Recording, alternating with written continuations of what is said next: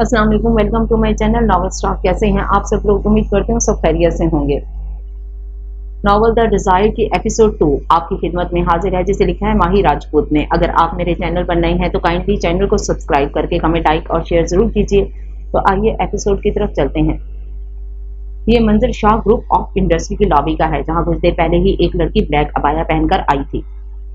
मुझे जाउक हैदर शाह से मिलना है, उस लड़की ने काउंटर पर मौजूद लड़के से इल्तजाई अंदाज में कहा।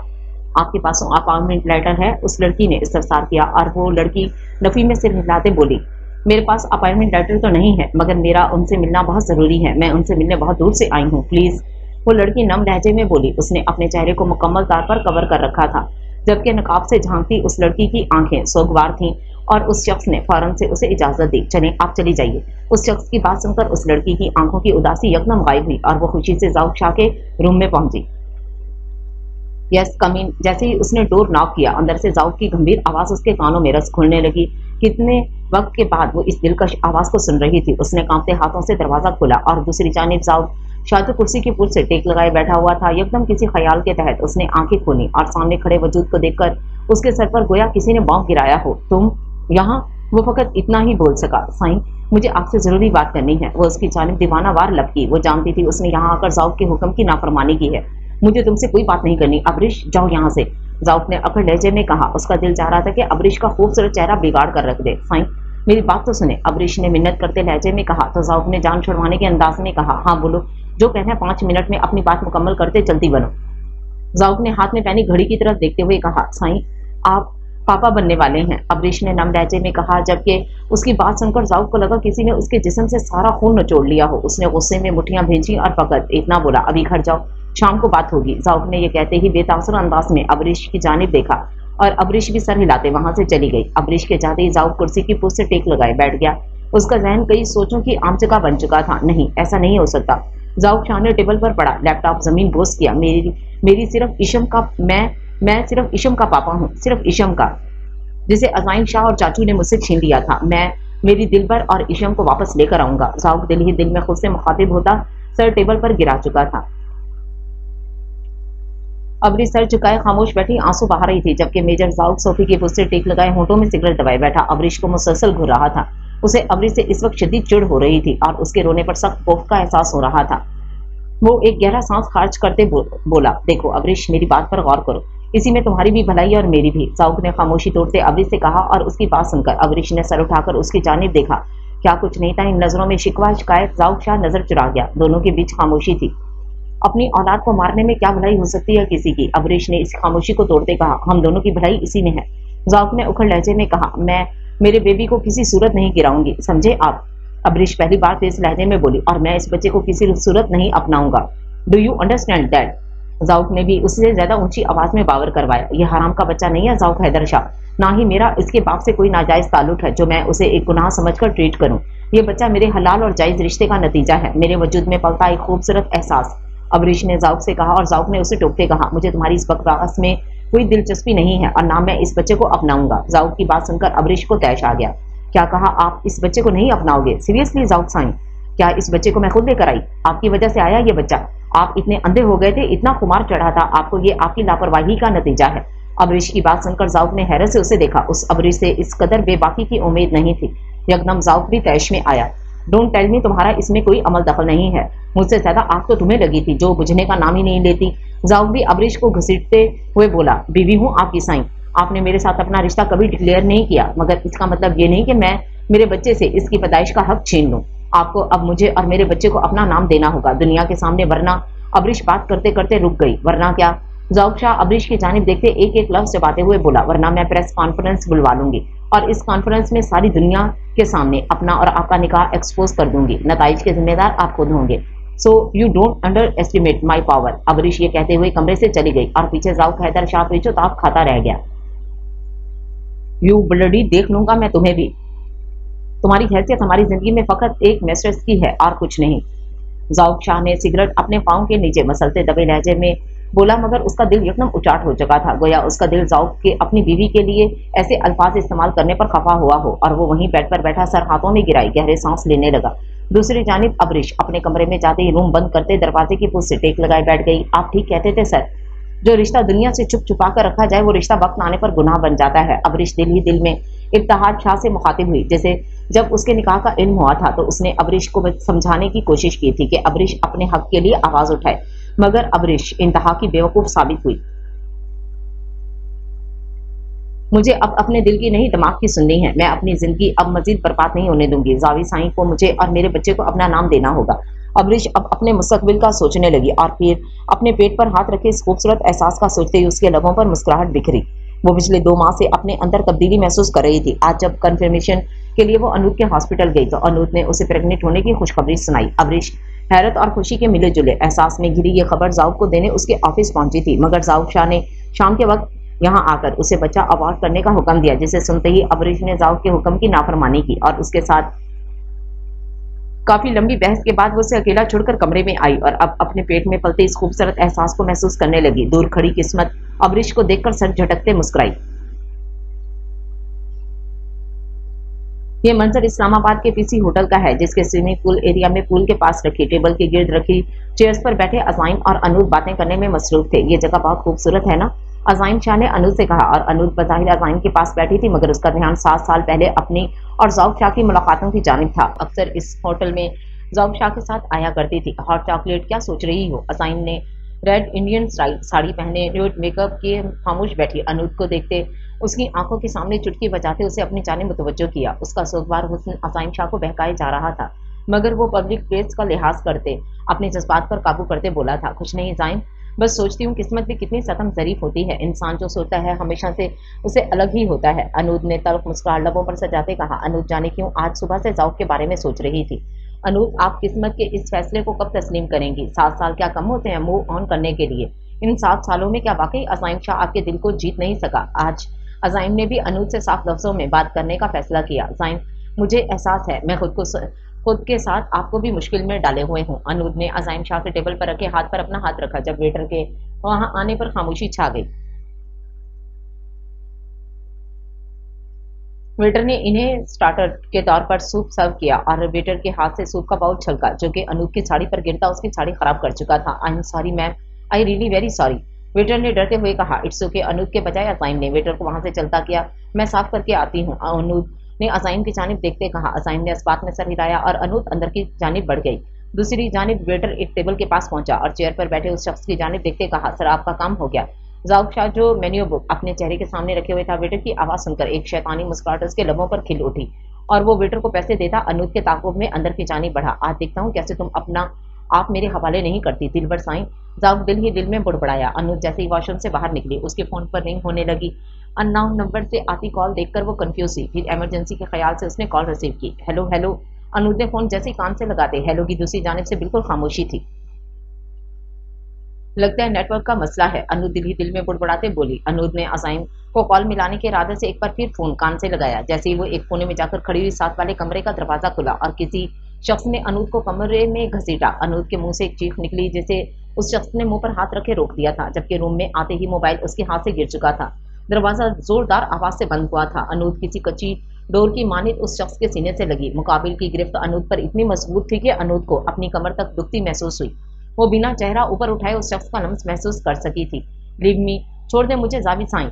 अनूद ने जाऊब के सीने पर हाथ मारते उसे खुद से अलग करने की कोशिश की। दिल भर साइन छुड़वा लो मुझसे खुद को। जाऊब शाह ने मुस्कुराते हुए अनूद को चैलेंज किया और अनूद का चेहरा अपने हाथों के प्याले में लिया। अनूद उसे धक्का देती, इससे अलग हुई और भागने की कोशिश करने लगी। जब उसकी पुश्त दरवाजे से लगी जाउक ने एक ही जश्न में अनूद के इर्द गिर्द अपने हाथ रखे, उसकी फरार की राह मकबूत कर दी थी। जाउक ने अनूद के गाल पर अपने लब रखे तो अनूद शिद्दत से काँप उठी। जाउक ने अनूद की कमर के गिर्द अपने हाथ रखे और एक ही झटके में उसे अपनी जानब खींचा। अनूद ने खुद को गिरने से बचाने के लिए जाउक की कमर के गिर्द हाथ बाँध लिया था और जाउक ने अनूद के कान की पुष्ट पर अपनी ज़ुबान फेरी। तो अनूद ने एक सिस्कारी भरी और बेबसी से अपनी आँखें मूंद ली। दिल पर साइन क्या हो गया है आपको? हम पहली बार तो नहीं मिल रहे। प्लीज़ स्टॉप टू बी शाई जाउक ने अनूद की आँखों पर अपने लब रखे और अब उसकी नाक से नाक टकरा था। मखमूर लहजे में बोला, इन लम्हों को महसूस करो। मेरी कुर्बत तुम्हें हर चीज़ से गाफिल कर देती है दिलबर साई मैं जानता हूँ तुम भी मेरे लिए इतना ही तड़पी है जितना मैं तड़पा हूँ। तभी तो तुम मेरी पनाहों में आते ही पुरस्कून हो चुकी हो। तुम भी मेरी तरह इस दोगली ज़िंदगी से थक गई हो, है ना? जाउक ने अपना नाक अनूद की नाक से रगड़ते सवाल किया। अनूद यूँ ही आँखें बंद किए जाउक को सुन रही थी। उसके लब कप कपा रहे थे। जाउक शाह ने अपने गुठे की पुश्त से उसके लबों को सहलाया दिलबर साई। एक बार फिर से खुद को सात साल पहले वाली उस रात में ले जाओ, जहाँ फकत तुम और मैं थे और हमारी बेचैन होती धड़कने। मेरी शिद्दतें थी और तुम्हारा ये संगे मरमर से तराशा गया वजूद। भूल जाओ कि कोई असाइम शाह भी है हम दोनों के बीच। यकदम अनूप ने आँखें खोली और वो इस पाप की कैफियत से निकलकर अपने करीब खड़े। जाउक शाह को बेयकीनी से देख रही थी। जाउक शाह का ये जज्बाती अंदाज उसकी कुर्बत? इससे पहले कि अनूद एक बार फिर से जाऊक के शहर में जकड़ी जाती। अनूद की आँखों के सामने इस दिलकश मर्द का सराफा जगमगाया जो उसका शौहर था और उसका महरम। और वो नफी में सर हिलाती जाऊक शाह से अलग हुई? नहीं, मैं अपने शौहर को धोखा नहीं दे सकती। मैं वो गलती कभी नहीं करूँगी जो मेरी मामा ने की। शादी किसी से की, दिल में किसी और को बसाए रखा। मैं अपने शौहर को धोखा नहीं दे सकती। मैं मरते दम तक अजाइम से वफा निभाऊँगी। अनूद ने जाऊक की तरफ़ देखते कहा जाउक शॉक्ड हुआ और फिर जिद्दी लहजे में बोला, अनूद अनूद, मेरी बात सुनो। तुम सिर्फ़ मेरी हो, मुझसे मोहब्बत करती हो, अपने दिलो दिमाग से। ये वफादार बीवी वाला कॉन्सेप्ट निकाल दो प्लीज़ एक बार अपने दिल की सुनो, मैं तुम्हें यहाँ से लेकर चला जाऊँगा। तुम, मैं और हमारी बेटी, बस। हमारी बेटी अनूद ने हैरत से जाउक शाह की तरफ़ देखा हाँ अनूद, हमारी बेटी, तुम्हारी और मेरी बेटी ईशम, जिसे तुम बदनामी के डर से इस अजाइम का नाम दे रही हो। जाउक के जाउक ने अनूद का हाथ अपने दोनों हाथों में लेकर दबाया, मगर अनूद नफी में सर हिलाती उसे धक्का देती, कमरे से बाहर निकलने लगी। मगर अनूद पर हैरत का पहाड़ टूट पड़ा जब उसने कमरे को बाहर से लॉक पाया। वो हैरत से जाउक शाह को देखने लगी। ओपन द डोर मैंने कहा, दरवाज़ा खोले। अनूद ने चिल्लाते हुए कहा, अजाइम अजाइम। अनूद ने दरवाजे पर ज़ोर से हाथ मारते हुए अजाइम को पुकारा। जब जाउक शाह फाते आलम सी मुस्कुराहट लिए, अनूद को बाजू से थामे घसीटते हुए बेड पर गिरा चुका था। जावी साई अनूद की चीख निकली। इससे पहले कि जाऊ कोई हरकत करता, दरवाज़ा धड़ाम की आवाज़ से खुला और अनूद ने सख्ती से आँखें मीच ली थी। सामने ही अजाइम शाह खून ख्वार नज़रों से जाऊ को घूर रहा था। अजाइम शाह अनूद ने जब अनूद की कॉल रिसीव की तो यकदम अनूद की चीख पर वो अपनी चेयर से उठा और बेचैनी से अंदर की तरफ़ बढ़ा। अनूद और जाऊ के बीच होने वाली तमाम गुफ्तु वो सुन चुका था और उसके दिलो दिमाग में झकड़ से चलने लगे। उसका बस नहीं चल रहा था कि वो अभी के अभी जाउक शाह की हस्ती को मिटा दे। वो जैसे ही अंदर बढ़ा तो दरवाजे के पास गिरी। अनूद की रिंग देखकर चौंका और फिर उसने धराम से दरवाज़ा खोला। सामने का मंजर उसकी रूह को छलनी कर चुका था। वो वसीले अंदाज में जौक पर झिपटा। तो तुम अपनी इन थर्ड क्लास हरकतों से कभी बाज नहीं आओगे। कितनी बार कह चुका हूँ, मुझसे मेरी फैमिली से दूर रहो। अजाइम ने जाउक को गिरबान से पकड़ा था। वो जाउक शाह के इस खूबसूरत चेहरे को बिगाड़ना चाहता था। अनूद अजाइम के जुनूनी अंदाज से अच्छे से वाकिफ थी। मगर वो इस वक्त अजाइम की रेपुटेशन की वजह से उसे रोकना चाहती थी। वो एक सेलिब्रिटी था, पब्लिक फिगर था। उसका कोई भी अमल उसके कैरियर के लिए मसला बन सकता था। अजाइम मुझे घर जाना है। अनूद ने अजाइम से इल्तजा करते कहा तो अजाइम उसके लहजे में छुपे दर्द को महसूस कर चुका था। उसने जाउक को धक्का देते अंदाज में पीछे गिराया और बेअख्तियार अनूद की जानी बढ़ा और उसे कंधे से थामे बेड से उठाया। चले जानम अजाइम ने उसे मोहब्बत से कहा अजाइम और अनूद वापसी के लिए मुड़े। जब जाउक की आवाज़ ने अजाइम के कदम जकड़ लिए मैंने सुना था शो बिज़नेस वाले अपनी बीवियों की खूबसूरती कैश कर, कराते हैं। आज देख भी लिया। अच्छा तरीका था अपनी बीवी को इस कमरे में भेजकर मुझे रिझाने की कोशिश करना। खैर कितने लोग अपनी बीवी को एक रात के लिए मुझे सौंपने के जाउक हैदर शाह बोल रहा था और उसके अल्फाज अनूद को पाताल में ला खड़ा कर चुके थे। उसने ख्वाब में भी नहीं सोचा था कि वो शख्स नफरत और इंतकाम में इस हद तक गिरेगा, जबकि जाउक की बात सुनकर अजाइम आपे से बाहर हो चुका था। उसने अनूद को खुद से अलग किया और एक मुक्का जावी के मुँह पर मारा और फिर बेशुमार घुसों और मुक्कों से जावी की तबाजे की। शाह, छोड़ दो, इसे वो मर जाएगा। अनूद ने सूरत हाल समझते हुए अजाइम को काबू करने की कोशिश की। मैं इसे जान से मार दूँगा, मैं जान से मार दूँगा इसे। उसकी ज़रूरत कैसे भी मेरी बीवी के बारे में बकवास करने की? अजाइम के सर पर आज खून सवार हो चुका था और वो उसे जान से मार देना चाहता था। शोर शराबा सुनते वहाँ होटल की इंतजामिया आ चुकी थी और जाऊक को अजाइम शाह के अताब से बचाने की कोशिश करने लगे, मगर अजाइम शाह तो आज किसी के काबू में नहीं आ रहा था। यकदम अनूद ने आगे बढ़ते अजाइम को पीछे से गले लगाया और गोया अजाइम शाह के जुनून पर ठंडी फार पड़ी। और वो जाउक को छोड़ता पीछे मुड़ा और अनूद को अपने सीने से लगा लिया। और फिर जख्मी हालत में गिरे पड़े। जाउक की जानब उंगली उठाते वार्निंग देते अंदाज में बोला, अगली बार मेरी बीवी के बारे में कोई भी बात करने से पहले हज़ार बार सोचना जाउक हैदर शाह। मेरी बीवी मेरी इज़्ज़त है, मेरा गरूर है। इसका किरदार ओस के कतरे से ज़्यादा पाकिजा और साफ़ था, साफ़ है और साफ़ रहेगा। मेरे और मेरी बीवी के बीच एतवार का रिश्ता है। जाउक शाह, जिसे तुम जैसे थर्ड क्लास लोग नहीं तोड़ सकते। वो ये कहते ही जाउक शाह पर कटेली नज़र डालता। अनूद को लेकर चला गया और उसकी ये वार्निंग दरवाजे के पास खड़े किसी और वजूद ने भी सुनी थी। घर पहुँचते ही अनूद अजाइम से बात किए बिना ही वॉशरूम की जानी बढ़ गई। अजाइम भी वहीं सोफे पर बैठकर खुद को रिलैक्स करने लगा। अनूद के जहन में वो सब बातें गर्दिश कर रही थी। दिल साइन क्या हो गया है आपको? हम पहली बार तो नहीं मिल रहे। Please stop to be shy Anood ने वो सब याद करते कांपते हुए शावर ऑन किया और साड़ी से मैच शावर के नीचे खड़ी हो गई। दिल पर साई एक बार फिर से खुद को सात साल पहले वाली उस रात में ले जाओ जहाँ फकत तुम और मैं थे। हमारी बेचैन होती धड़कने मेरी शिद्दतें तुम्हारा ये संगे मरमर से तराशा क्या वजूद? वो अपने होठों को मसलने लगी। इन लम्हों को महसूस करो। मेरी कुर्बत तुम्हें हर चीज़ से गाफिल कर देती है, दिल पर साई। अनूद ने अपने गाल को ज़ोर से रगड़ना शुरू किया। मैं जानता हूँ तुम भी मेरे लिए इतना ही तड़पी हो जितना मैं तड़पा हूँ। तभी तो तुम मेरी पनाहों में आते ही पुरसकून हो चुकी हो। तुम भी मेरी तरह इस डोगली ज़िंदगी से थक गई हो, है ना? अनूत रोते हुए अपने जिसम को बुरी तरह रगड़ रही थी। गोया वो जाउक के लम्स को अपने बदन पर से खत्म करना चाहती थी। अच्छा तरीका था अपनी बीवी को इस कमरे में भेजकर मुझे रिझाने की कोशिश करना। खैर, कितने लोग अपनी बीवी को एक रात के लिए मुझे सौंपने के? वो भी आवाज़ रो रही थी। जाऊ के ये अल्फाज एक बार फिर से, उसे आसमान से ज़मीन पर पटक चुके थे। कौन थी वो? क्या उसका शुमार इज्जतदार औरतों में होता था? आखिर क्यों वो बार बार उस शख्स के हाथों जलील होती थी? क्यों उसे मोहब्बत के नाम पर इतनी जलील और रसवा किया गया था? वो अपने जिसम को नोच रही थी। अजियत की इंतहा क्या होती है? ये आज कोई अनूद इब्तहाज शाह से पूछता। वो काफ़ी देर तक शावर के नीचे खड़ी रही, जब वॉशरूम का दरवाज़ा खुला और अजाइम शाह अंदर आया।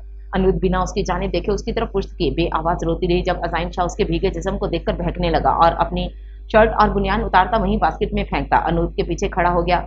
शावर से निकलता ठंडा पानी भी असाइम के अंदर लगी। आग को कम नहीं कर पा रहा था। अनूद की पोस्ट पर बिखरे बाल गीले होने की वजह से चिपक गए थे। असाइम ने दीवार पर हाथ टिकाए। अनूद के गिर्द अपना घेरा तंग किया। मैं तुम्हारे जिसम की हिद्दत को अपने अंदर उतारना चाहता हूँ अनूद शाह। मुझे शिद्दत से तुम्हारी तलब है। अजाइम शाह ने अनूद की गर्दन की पिछली साइड पर अपने लब रखे और कुमार आलूद लहजे में गोया हुआ। अनूद उसकी इस हरकत पर आँखें बंद करती, उसे कुछ देर महसूस करती रही और फिर यकदम अनूद ने अपना रुख अजाइम की जानब किया और उसके चेहरे को अपने हाथों के प्याले में लेते कहा, शाह, मुझे आपकी ज़रूरत है। मैं अपने और आपके बीच इन फासलों को ख़त्म करना चाहती हूँ। मैं पिछले सात साल से तड़प रही हूँ और मेरे इस बेचैन दिल और सुलगते बदन को राहत सिर्फ़ आप दे सकते हैं। असाइन शाह, मैं आज सही मैनों में आपकी बीवी बनना चाहती हूँ। अनूद असाइन शाह चेहरे के एक एक नक्श को अपने लगों से छू रही थी और अजाइम शाह उसकी बात सुनकर दंग रह गया था। और बिल्कुल सोते हुए अनूद को अपनी बाहों में भर लिया। अनूद भी अपने हाथ असाइम की पुष्ट पर रख चुकी थी। दोनों कितनी ही देर शावर के नीचे खड़े, एक दूसरे के गले लगे भीगते रहे। अजाइम कुछ देर बाद अनूद से अलग हुआ और शावर बंद करता उसे अपनी बाहों में भरे कमरे में आया। अनूद के जिसम पर साड़ी चिपक गई थी और उसके भीगे जिसम के नशीबों फराज आया होने लगे। अजाइम शाह ने अनूद को कमरे में लाते ही दीवार के साथ लगाया और उसका चेहरा अपने हाथों के प्याले में लेता, उसके लबों पर झुका। कितनी ही देर वो अनूप के लबों पर अपने लब रखे, इन्हें सिराप करता रहा, फिर उसकी गर्दन पर लब रखे, उसे चूमने लगा और फिर अनूप का रुख दीवार की जानिब किया। अनूप का भीगा सरापा अजाइम शाह के जज्बात भड़का चुका था। अजाइम की नज़र अनूप के ब्लाउज की इस नाजुक डोरी पर पड़ी जो बंधी हुई थी। बेख्तियार अजाइम ने उस डोरी को खोला, जो सांप की तरह लटकते अनूप के बरहना कमर को छूने लगी। अनूप की पतली सी दुधिया रंगत कमर। उसका खूबसूरत नाजुक जिस्म और अनूप की बैक मन पर बने तीन तिल के निशान अजाइम शाह के होश उड़ाने को काफ़ी थे। अजाइम शाह बेखुद सा फर्श पर बैठा। अनूप शाह की पुट पर बने मोस को अपने होंठों में लिए चूमने लगा। अजाइम के सिलकते लब अनूप को कांपने पर मजबूर कर चुके थे। अनूप भी अब बेखुद होती अपना रुख एक बार फिर मुड़े। असाइम शाह की बाहों में समा चुकी थी। दोनों के बदन की नरमाहट अनूर के बदन से उठती दिल फरेब खुशबू, इन दोनों को एक दूसरे में मधोश कर चुकी थी और दोनों के सिलगते जिसम एक दूसरे को पुकार रहे थे। जैसे सर्दी की रातों में तेज हवा का झोंका बदन से टकराता है तो कब कभी तारी होती है। ऐसे ही अनूद और अजाइम के जिसम में छाई कब कभी इन दोनों ने एक दूसरे में सिमटने पर मजबूर कर रही थी। दोनों के जिसम की हिद्दत एक दूसरे में उतर रही थी और यही हल था एक दूसरे को महसूस करने का, जिसम से रूह में उतरने का। जाइन शाह अनुप के जिसम से साड़ी उतार चुका था और अब उसके बरहना जिसम को अपनी बाहों में भरे बेड पर लाया। रात के 12 बजे का वक्त था, दिसंबर की यकबस्ता रात में वो तन तनहा शाह हवेली के लॉन में बैठा, अपनी नज़र चाँद पर जमाए हुए था। उसके जिसम पर कोई जैकेट या चादर नहीं थी, वो यूँ ही गुमसुम सा बैठा। माजी को याद करता पेशमान था, आँसू उसकी आँखों से बह रहे थे। जब सदीद उसे ढूंढता हुआ वहाँ आया, अरे, खुरम भाई, मैं तुम्हें पूरी हवेली में ढूंढ रहा था। सदीद की चहकती आवाज़ खुरम के कान से टकराई तो वो अपने आँसू साफ़ करता सीधा होकर बैठा। तुम कब आए भाई? खुरम ने सदीद से इस्तफसार किया। जब तुम चाँद से मुजाकरात कर रहे थे, सदीद ने आँख दबाते कहा, तुम जानते हो, ये चाँद ही मेरे जुर्मों का गवाह है। खुरम ने सर झटकते कहा तो सदीद ने चेयर घसीटते उसके करीब रखी और बैठ गया। मासी, में जो हुआ, इसे बदलना, हमारे बस में नहीं। खुरम, बट, अपने हाल को बदलना, अपने मुस्तकबिल को हसीन बनाना, हमारे बस में था और हमने हर मुमकिन कोशिश की है। तुम जानते हो, अपनी गलतियों पर पछताना हर किसी के बस की बात नहीं होती। तुमने अपनी गलतियों से सबक सीखा और खुद को बदला है। मेरे भाई, अपने जमीर को मलामत करना छोड़ दो। मूव ऑन कर लो। वैसे भी इल्तफात के साथ जो हुआ, उसमें तुम्हारा नहीं, लाला का कसूर था। सदीद को यकदम तल्ख हुआ और जब खुरम ने उसे डुबते कहा, नहीं सदीद, सारा कसूर मेरा था। इल्तफात के साथ ना मैं वो सब करता, ना लाला उसको सजा दे देते उसे छोड़ने। और फिर उस हवेली से निकालने की वजह मैं बना था। मैं ही मुजरिम हूँ अपनी इल्तफात का। खुरम ने टूटे लहजे में कहा, सब ठीक होने वाला था। चाचू, तुम दोनों के रिश्ते के लिए मान गए थे, मगर किस्मत का खेल देखो, इल्तफात किस हाल में पहुँच गई। सदीद ने अब की बार नम लहजे में कहा, सदीद, इल्तफात को मुझसे दूर किस्मत ने नहीं, बल्कि पहली बार मैंने खुद किया और दूसरी बार लोगों ने किया है। खुरम ने एक एक लफ्ज पर ज़ोर देते कहा, लोग मतलब सदीद ने भी नासमझी से पूछा था हाँ सदीद, चाचू का एक्सीडेंट नहीं हुआ था, बल्कि उनका मर्डर हुआ है। खुरम ने एक एक लफ्ज चबाते कहा और उसके, इस इंकशाफ ने सदीद शाह को शॉक्ट कर दिया था। यही हाल जौक शाह का था, जो अभी अभी हवेली पहुँचा था। मगर ऐसे कैसे? सदीद ने बेयकीनी से पूछा, मेरी दोस्त मरिया पिछले तीन साल से चाचू के केस पर वर्क कर रही है। तुम जानते हो, चाचू का एक्सीडेंट हाईवे का सबसे बड़ा और खतरनाक एक्सीडेंट था। मरिया की अब तक की रिपोर्ट के मुताबिक वो एक्सीडेंट जानबूझकर करवाया गया था। खुरम ने उसे एक एक बात मनोअन बताई, जो उसे कुछ रोज पहले मरिया ने बताई थी। तो सदीद ने पुरसोच अंदाज में कहा, इसका मतलब चाचू का कत्ल हुआ है। और कत्ल करने वाला आज भी आज़ाद घूम रहा है। जामिया चाची के अलावा कोई तीसरा है जो हमारे खानदान को बर्बाद करना चाहता? यकदम सदीद बात करते करते रुक गया। सामने ही जाउक शाह जख्मी हालत में खड़ा था। लाला वॉट हैपेंड ये क्या हुआ है? आपको सदीद भागते हुए जावी की तरफ़ बढ़ा। उसके पीछे खुरम भी तासुर से जावी को देख रहा था। अंधे हो नज़र नहीं आ रहा, चोट लगी है। जख्मी हूँ। जावी हमेशा की तरह इन दोनों पर चिल्लाया और दोनों खामोश हो गए थे। जावी इन दोनों को देखता अंदर की तरफ़ बढ़ा और अपने कमरे में आते ही उसने किसी का नंबर मिलाया। हाँ सुनो, छह साल पहले नेशनल हाईवे इस्लामाबाद पर जो एक्सीडेंट हुआ था, मुझे उसके बारे में पूरी डिटेल चाहिए। कल ही ये कहते ही जाउक ने फ़ोन बंद कर दिया और बेड पर लेट गया। कौन हो सकता है? ये आखिर कौन? चाचू, वो जो कोई हुआ, उसे पाताल से निकाल कर सजा दूँगा, मेरा वादा है आपसे। जाउक शाह। दिल ही दिल में इतिहाद से मुखातिब हुआ था। अनूद की आँख खुली तो खुद को किसी मज़बूत हिसार में पाया। तो उसने सर उठाकर अजाइम की तरफ़ देखा, जो बड़े सुकून से अनूद को अपनी बाहों में लिए सो रहा था। अनूद मधोश सी उसे दिखने लगी। वो वाकई बला का खूबसूरत मर्द था। कल रात उसकी शिद्दत सहने के बाद वो इस शख्स की दीवानी हो चुकी थी। काफ़ी देर तक उसके चेहरे को मसरूफ अंदाज में देखती रही, और फिर उसकी पेशानी पर भूसा दिया, और फिर अपने आप को कवर करती वॉशरूम की जानी बढ़ी। जैसे ही वो शावर लेकर बाहर निकली तो अजाइम अभी तक सो रहा था। अनूद कुछ सोचती हुई कमरे से बाहर निकली और नीचे आकर गार्डन की तरफ़ गई, जो कि हर तरह के फूलों से सजा हुआ था। अनूद ने मुस्कुराते हुए कुछ फूल तोड़े और इन फूलों का बुके बनाती कमरे में आई और एक कार्ड पर कुछ लिखती, बुके साइड टेबल पर रख चुकी थी। अजाइम शाह की आँख जब खुली तो हमेशा कितना अपनी साइड पर देखा तो अनूद और ईशम को ना पाकर परेशान हुआ और जैसे ही उसकी नज़र अपने बरहना जिसम पर पड़ी तो कल रात वाला वाकया उसके जहन में फ़िल्म की तिमानी चलने लगा। अनूज जो अभी अभी ड्रेसिंग रूम से बाहर निकली थी, उसे देखते ही अजाइम शाह शर्मिंदा से अपने कपड़े उठाने लगा। अनूज शर्माती मुस्कुराती उसके पास से गुजरी तो अजाइम ने उसका हाथ थाम कर उसे रोक लिया। अनूद आई एम सॉरी अजाइम ने नज़र चुराते कहा सॉरी फॉर वॉट अनूद ने अजाइम से सफसार किया, कल रात जो हुआ, मैं जानता हूँ, आप इस जज्बाती कदम पर शर्मिंदा होंगी। अजाइम ने अपने तय अंदाज़ा लगाया, अजाइम, कल रात जो हुआ, गलत नहीं था, जो मुझे शर्मिंदा होना पड़े। अनूद ने मुतमिन अंदाज में कहा अनूद क्या आपने ये रिश्ता दिल से कबूल किया है? ये जज्बात में आकर अजाइम ने सफसार किया। मैंने कल सच्चे दिल से आपके साथ अपने रिश्ते को कंज्यूम किया है। यह सब जज्बात में नहीं, होशो हवास में हुआ है। और यकीन करें अजाइम साई, कल रात एक ही लम्हे में जहाँ मैं अपने शौहर के करीब आई हूँ, वहीं दूसरे लम्हे में जाउक शाह से बहुत दूर हो गई हूँ। मेरे दिल को चीर कर देखने, अब वहाँ सिर्फ़ अजाइम शाह का नाम मिलेगा आपको। अनूद ने अजाइम की पेशानी पर अपने लब रखते कहा तो अजाइम ने अनूद को गले लगा लिया। तुम मेरे पिछले सात साल के सफ़र का इनाम हो अनूद शाह। अजाइम ने अनूद को खुद से अलग करते उसके भीगे बालों को कान के पीछे उड़सते कहा और फिर जैसे ही उसकी नज़र साइड टेबल पर पड़े, बुके पर पड़ी तो वो बुके उठाकर उसके अंदर कार्ड खोलकर मुस्कुरा उठा, जिस पर अनूप की हैंड राइटिंग में लिखा था, नई ज़िंदगी की पहली सुबह मुबारक हो my hot and sexy man sexy man, seriously hot chocolate. Azaim ने, मैंने खेजी से अनूद से पूछा और अनूद उसकी बात सुनकर शर्माती हुई, उसके गले लगी, आपकी ये अदा अजाइम शाह की जान ले लेगी। अजाइम ने मखमूर लहजे में कहा, जब अनूद ने खुफकी से उसके सीने से सर उठाया और बोली ये जान बहुत कीमती है मेरे लिए। कभी इसे जाया करने की बात मत करना जाइन शाह। आपकी अनूप जीते जी मर जाएगी। मेरी इशम आपके सिवा कोई नहीं है शाह। आपने इसे अपना नाम दिया, उसे एक खूबसूरत ज़िंदगी जो मैं नहीं दे सकती थी। मैं तनहा कभी अपनी इशम पर से नाजायज का टैग नहीं हटा सकती थी और मुझे इस लफ्ज नाजायज से शदीद नफरत है शाह। अनूद बोलते बोलते असाइन के गले लगी और रोने लगी। अगर आपकी जगह कोई और होता तो उसकी साँसें खींच लेता मैं। उस बात पर मेरी इशम नाजायज नहीं है। वो मेरी बेटी है, मेरी कुल कायनात असाइम शाह ने एक एक लफ्ज पर ज़ोर देते कहा। तो अनुद मुस्कुरा उठी। अच्छा ना, सॉरी, गलती हो गई। अनुद ने कान पकड़ते कहा, अगर इस खूबसूरत अंदाज में आप मुझे सॉरी बोलेंगे तो मैं एक बार फिर से आपको थकाने का इरादा कर बैठूँगा।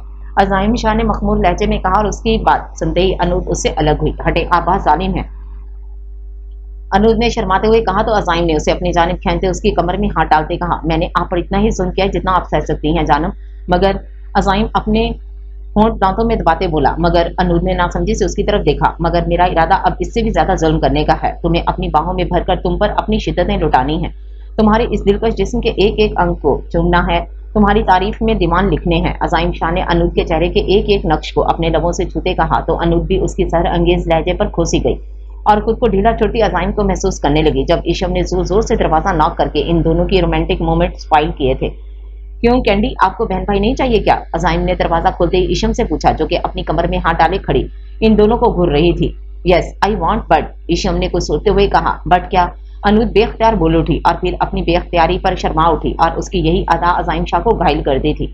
वो लड़की शो बिज़नेस में होने के बावजूद, बोल्ड होने के बावजूद फिक्री शर्मा हया रखती थी। आप सिर्फ़ मेरे बाबा होंगे, जस्ट मेरे। ईशम की इस कदर पोजिशनेस इन दोनों को हैरान कर चुकी थी। हाँ मैं आपका बाबा हूँ, सिर्फ़ आपका। ईशम असाइन ने ईशम को गोद में उठाकर गाल पर बोसा दिया। जाउक शाह, कुछ देर पहले ही ऑफ़िस पहुँचा था जब उसकी सेक्रेटरी ने उसे एक लड़की की आमद का बताया। सर, एक लड़की आपसे मिलने की जिद कर रही है। अभी भी जब उसकी सेक्रेटरी ने उसे खबर दी तो वो खुद खूब बदमजा हुआ। कौन लड़की? उसे इस वक्त अबरिश का ख्याल आया और शदीद चिड़ का एहसास हुआ था। अभी इससे पहले कि सेक्रेटरी कुछ बताता। एक लड़की ब्लैक जीन्स और पर्पल टॉप पहने उसके केबिन में आई थी। एक्सक्यूज मी जाउक्षा मुझे आपसे बात करनी है। उस लड़की के पीछे पीछे गार्ड्स आए थे। सर हमने इन मैडम को रुका, मगर इन्होंने हमारी बात नहीं सुनी। गार्ड्स ने अपनी सफ़ाई पेश की, वो जाउक्षा के गुस्से से अच्छी तरह वाकिफ थे। जाउक ने हाथ के इशारे से इन्हें वहाँ से जाने को कहा। जी, फरमाए मोहतरमा। जाउक ने बेजारी से कहा myself Zaisha Malik daughter of Malik Zubair owner of Zubair group of industry Zaisha ने तफसील से अपना तारुफ करवाया। जाउक शाह को दो मिनट लगे थे उसे पहचानने में। वो उसके बिज़नेस पार्टनर की बेटी थी। Nice to meet you Zauq Shah ने हाथ मिलाया। जावी साई, मुझे आपसे ज़रूरी बात करनी है। जायशा ने जाउक के खूबरू चेहरे की जानब देखते कहा, जी, बात खत्म करें। मुझे अर्जेंट मीटिंग पर जाना है। जाउक ने मसरूफ अंदाज में देखते कहा, अनूद और अजाइम शाह को अलग करने में आपका साथ मैं दूँगी। आपकी बेटी ईशम को आपसे मिलवाने में आपका साथ दूँगी। जायशा ने जाउक की तरफ़ देखते मुस्कुराते हुए कहा जाउक शाह उसकी बात सुनकर चौंक उठा। ईशम तो एक रात थी, जिसे अजाइम अनूद और जाउक के सिवा कोई नहीं जानता था। चौंके मत। मैंने कल होटल में आपकी और अजाइम शाह की बातें सुनी थी। जायशा जाउक के दिल की बात समझ चुकी थी और आप ये सब क्यों करेंगी? आई मीन इतनी मेहरबानी किस खुशी में? बदले में आपको भी तो कुछ चाहिए। जाउक ने शातराना अंदाज अपनाते कहा, जी, बिल्कुल चाहिए, मुझे बदले में अजाइम शाह चाहिए। जायशा ने भी अपनी इस मेहरबानी की वजाहत करते कहा और जाउक शाह एक ही पल में सारे मामला की तय तक पहुँच चुका था। उसके लबों पर मुस्कुराहट खिल उठी तो फिर मुलाव जाउक शाह ने जायशा से हाथ मिलाया और फिर दोनों एक साथ बैठे असाइन और अनूप की ज़िंदगी को तबाह करने का लायामल तैयार करने लगे। मेरी बीवी मेरी इज़्ज़त है, मेरा गरूर है, इसका किरदार ओस के कतरे से ज़्यादा पाकिजा और साफ़ है। मेरे और मेरी बीवी के बीच एतबार का रिश्ता है। जाऊक शाह, जैसे तुम जैसे थर्ड क्लास लोग नहीं समझ सकते। जाऊक शाह के कानों में कुछ दिन पहले के अजाइम की कही बात गूंजी। तो वह मुस्कुराता हुआ जायशा की जानब देखते बोला, हमें सबसे पहले इन दोनों के बीच एतबार के इस धागे को कच्चा करना है। जो एतबार वो दोनों मियाँ बीवी एक दूसरे पर करते हैं। इस एतबार को खत्म करना है। जाउक ने एक एक लफ्ज चबाते कहा और उसकी बात सुन। जायशा ने भी अस्पात में सर हिलाया। वो अजाइम शाह को हासिल करना चाहती थी। अजाइम शाह उसकी डिज़ायर था। एक ख्वाहिश ला हासिल से ख्वाहिश जिसे हासिल करने के लिए वो पाकिस्तान आई थी। और एक रोज पहले जाउक शाह और अजाइम में हुई लड़ाई पर वो जाउक शाह के साथ हाथ मिलाने का सोच चुकी थी। क्योंकि उसने जाउक की आँखों में वही चीज़ देखी थी अनूद के लिए जो वो खुद अजाइम के लिए रखती थी, डिज़ायर। जायशा मलिक अपनी मंजिल को पाने के लिए किसी की दुनिया बर्बाद करने वाली थी, जाने अब किस्मत किसका साथ देने वाली थी। इन दो दीवानों का जिन्होंने कल ही नई ज़िंदगी की इब्तदा की थी या इन दो आशिकों का जो अपनी डिज़ायर को पाने में हर हद से गुजरने वाले थे। आज अजाइम शाह को घर से गए तीन दिन हो चुके थे और वो उस रोज ही अपनी किसी मीटिंग के सिलसिले में कराची चला गया था और उसके जाने के बाद अनूज शाह पूरे घर में बेचैन से फिर रही थी। समझता क्या है खुद को? सेलिब्रिटी है, बिजनेसमैन है तो किसी की परवाह नहीं करनी। कम से कम वहाँ जाकर अपनी खरीद का तो बता सकता है ना। बिल्कुल बात नहीं करूँगी इससे। अनूद खुद से ही बुड़बड़ाती हुई शदीद गुस्से में फ़ोन सोफे पर फेंकते बैठ गई थी, जब साइमा शाह उसके कमरे में आई और अनूद की इस कदर बेचैनी देख हैरान हुई। अनूद क्या हुआ? उन्होंने अनूद के कंधे पर हाथ रखते कहा, खाला देख नहीं है आप अपने बेटे को? इतने दिन हो गए, इसने कॉल तक नहीं की। कराची जाकर सब भूल जाता है। उसे ऐसा नहीं करना चाहिए था। उसे एहसास ही नहीं है कि घर पर बीवी को छोड़कर आया हूँ। अनूद बात करते करते रोने लगी, जब साइमा शाह के होंठों पर मुस्कुराहट खिल उठी। वो इतने सालों में आज पहली बार अनूद की अजाइन के लिए इतनी बेचैनी देख रही थी। बेटा, उसने भी इंतज़ार किया था ना आपका, कुछ रोज आप भी कर लो। साइमा ने अनूद के आँसू साफ़ करते कहा, कितना इंतज़ार करूँ खाला?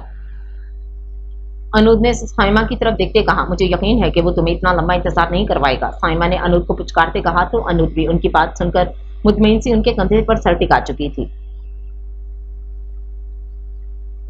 जब से अजाइम गया था, वो पल पल उसे याद कर रही थी। इन तीन दिनों में वो हॉस्पिटल भी नहीं गई थी। उसका दिल बार बार उसे अजाइम शाह की जाने भुमकने पर मजबूर कर रहा था। अनूद एक बात पूछो? साइमा ने अनूद को पुकारा।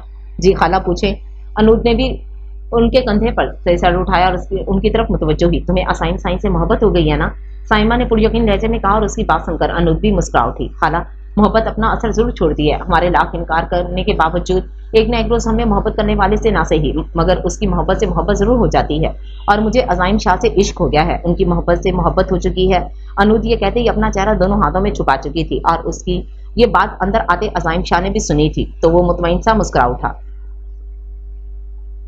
Hello beautiful ladies Azaim Shah ने कमरे में आते ही उन दोनों को अपनी तरफ़ मुतवजो किया और बिना उनका जवाब सुने ईशम को ढूँढने लगा।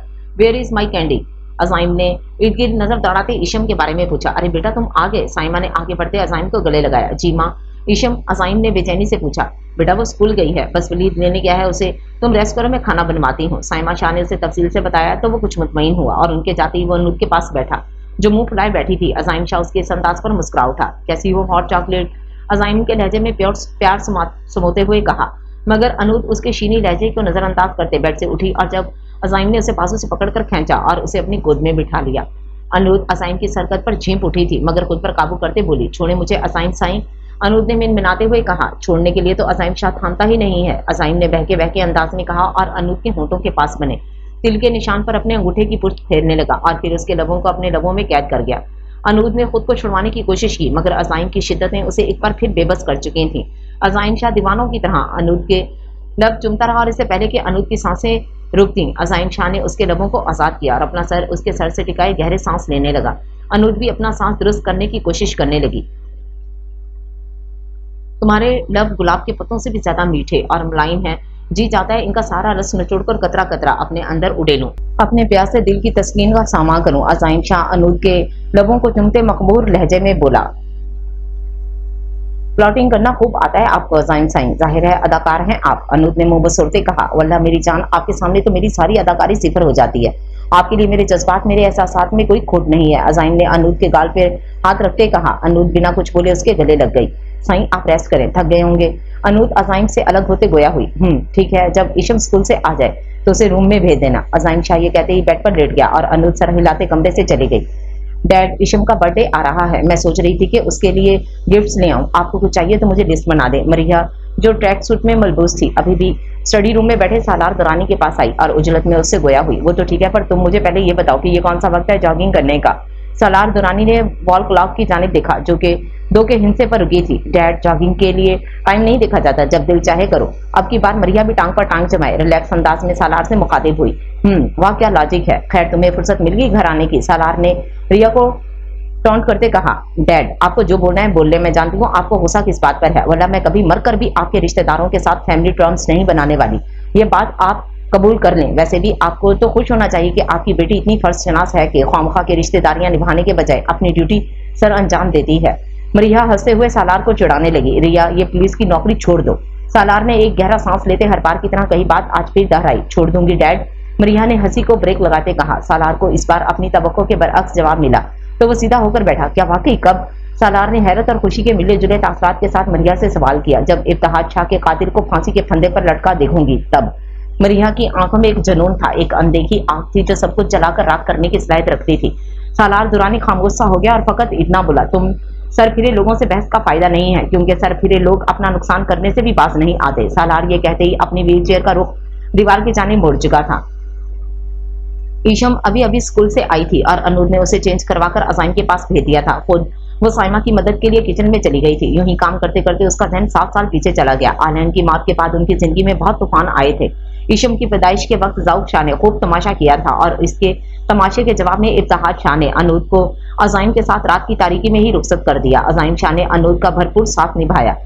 अनूद चाहकर भी उसके साथ अपना रिश्ता नहीं बना पा रही थी। अजाइम शाह ने बार बार कोशिश की थी, मगर अनूद उसकी हर कोशिश को नाकाम कर देती थी। तो अजाइम ने अनूद को स्पेस देने के लिए उसे यूके भेज दिया। वो वो सात साल से इस रिश्ता इजवाज में बंधने के बावजूद अजनबियों की तरह रह रहे थे। आखिरकार अजाइम शाह की नेक दिली और उसका इशम के लिए मोहब्बत और प्यार देखकर अनूद उसकी जानब दोस्ती का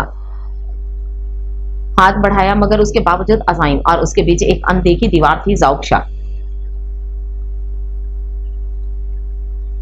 तीन दिन पहले वो दीवार खुद ही टूटकर बिखर गई और अब वहाँ फकत अनूद शाह थी, अजाइम शाह था। अनूद जो पिछले एक साल से अजाइम के साथ अपना रिश्ता बनाना चाहती थी, उसे फकत कुछ लम्हात लगे थे, अपने फैसले पर डटे रहने को, अपने दिल की ख्वाहिश को ज़ुबान देने को।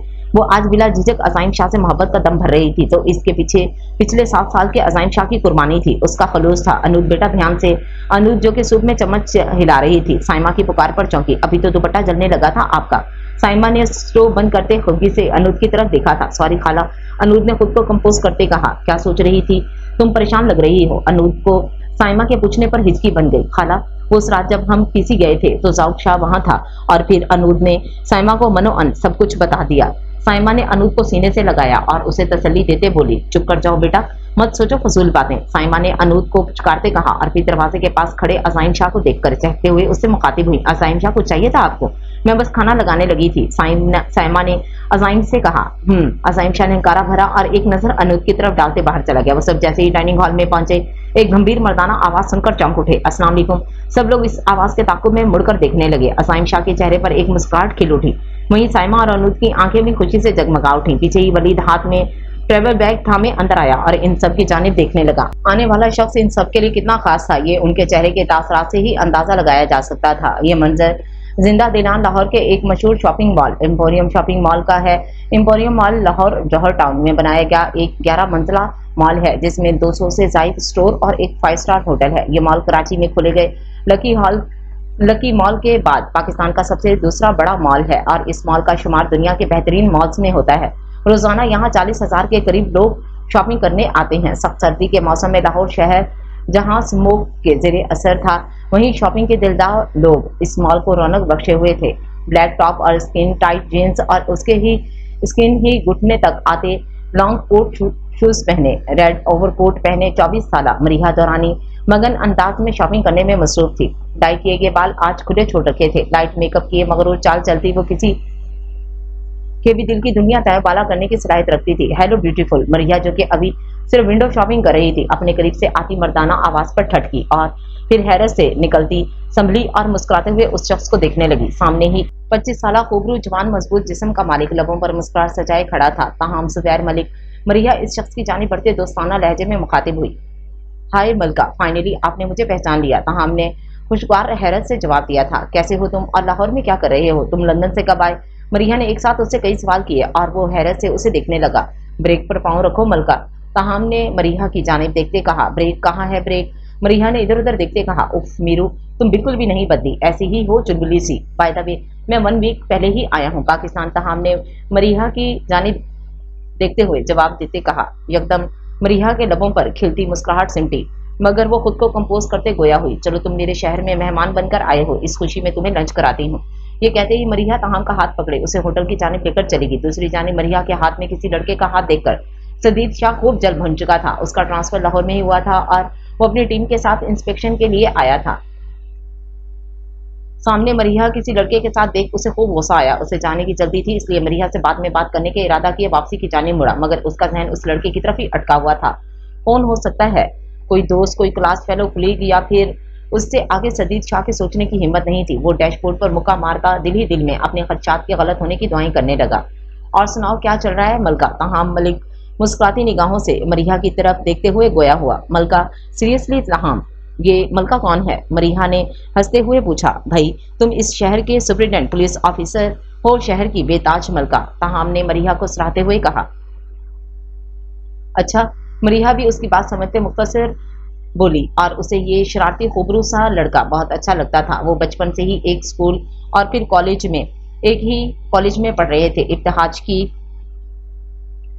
मौत के बाद जब मरिया लंदन चली गई, तब तहाम ने उसे मेंटली सपोर्ट किया था। वो तहाम की अपनी पसंदगी से भी अच्छी तरह वाकिफ थी। मीरू, किसी रोज आउटिंग का प्रोग्राम बनाओ ना, मैं बाकी दोस्तों को भी इनवाइट करता हूँ। तहाम ने संजीदगी से यकदम मरिया के चेहरे की जानब चुटकी बजाते कहा नहीं, तहाम मुझे ये सब अब पसंद नहीं है। मरिया ने माजरत करते कहा, क्या हुआ है रिया? तहाम की बात पर। मरिया ने चौंकते हुए सर उठाया। रिया नाम की पुकार उसे मासी में घसीट कर ले गई थी।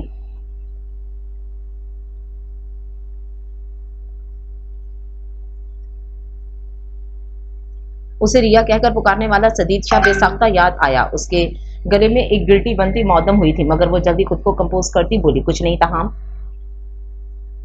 बस अब मैं चोर हो गई हूँ। मैं चोटी इंसान को बदल कर रख देती है। मुझे भी अब ये आउटिंग दोस्त, शोर शराबा हल्ला गुल्ला, रिश्तेदारियाँ, सब चीज़ें उकताहट का एहसास दिलाती हैं। जब तक टीन एजर थी, ये सब चीज़ें अच्छी लगती थी फैसिनेट करती थी, मगर अब नहीं। अब मुझे तना रहना अच्छा लगने लगा है। लोगों से मेल जोल और उनसे रवाबित बनाने से डरने लगी हूँ मैं। अपने आप में सिमट कर रहने की आदत हो गई है। खैर इट्स नॉर्मल हर इंसान के साथ ऐसा होता रहता है। मरिया ने तहाम की तरफ़ देखते कहा, ये रंगों में रंगे रहना और फिर खुद को जंग आलूद कर देना। ये बहती हवाओं की बातें करना और फिर मुरझाया दरख्त बन जाना। ये महफिलों की रौनक बने रहना और फिर तन्हाई को अपना साथी बना लेना। ये शोखो चंचल सी हँसी हंसना और फिर संजीदगी का लबादा ओढ़ना। सब मामूली बातें नहीं हैं। एसपी मरिया सालार दरानी, ये सब किसी हादसे के गुजरने के आसार है। मुझे लगता है कि कोई क्यामत आकर गुजरी है। जिसने तुम्हें यकसर बदल दिया है। मरिया सालार दुरानी, खैर मैं कोशिश करूँगा अपनी चुलबुली दोस्त को वापस से इस दुनिया का बासी बनाने की। अभी ऑर्डर करो, मुझे सख्त भूख लगी है। ताहम ने बात बदलते कहा जबकि मरिया दिल ही दिल में बोली थी, मैं तुम्हें कैसे बताऊँ, मुझ पर इन सात सालों में कौन कौन सी कयामत नहीं गुजरी। क्या हासिल मोहब्बत भी तो किसी जानलेवा हादसे से कम नहीं होती। मुझ पर यह हादसा बहुत बुरी तरह गुजरा है। उसके आसार मेरे चेहरे की रौनक को मस्क कर चुके हैं। मुझे एक बीमार और नीम पागल रूह बना चुके हैं। मरिया सर चटकते अब तहाम की जाने मुतवजो हुई। दादा जानी ईशम ने सबसे पहले पुरजोश अंदाज में चीख मारी और भागती हुई वासिक शाह के, वासिक शाह की तरफ़ बढ़ी और वासिक शाह ने आगे बढ़ते ईशम को अपने सीने में भेज लिया। अजाइम शाह भी आगे बढ़ता उनके गले लगा। डैड, आपने आने से पहले फ़ोन किया होता। मैं वलीद को भेज देता, आपको रिसीव करने के लिए। अजाइम की बात सुनकर वासिक शाह मुस्कुराते हुए गोया हुए।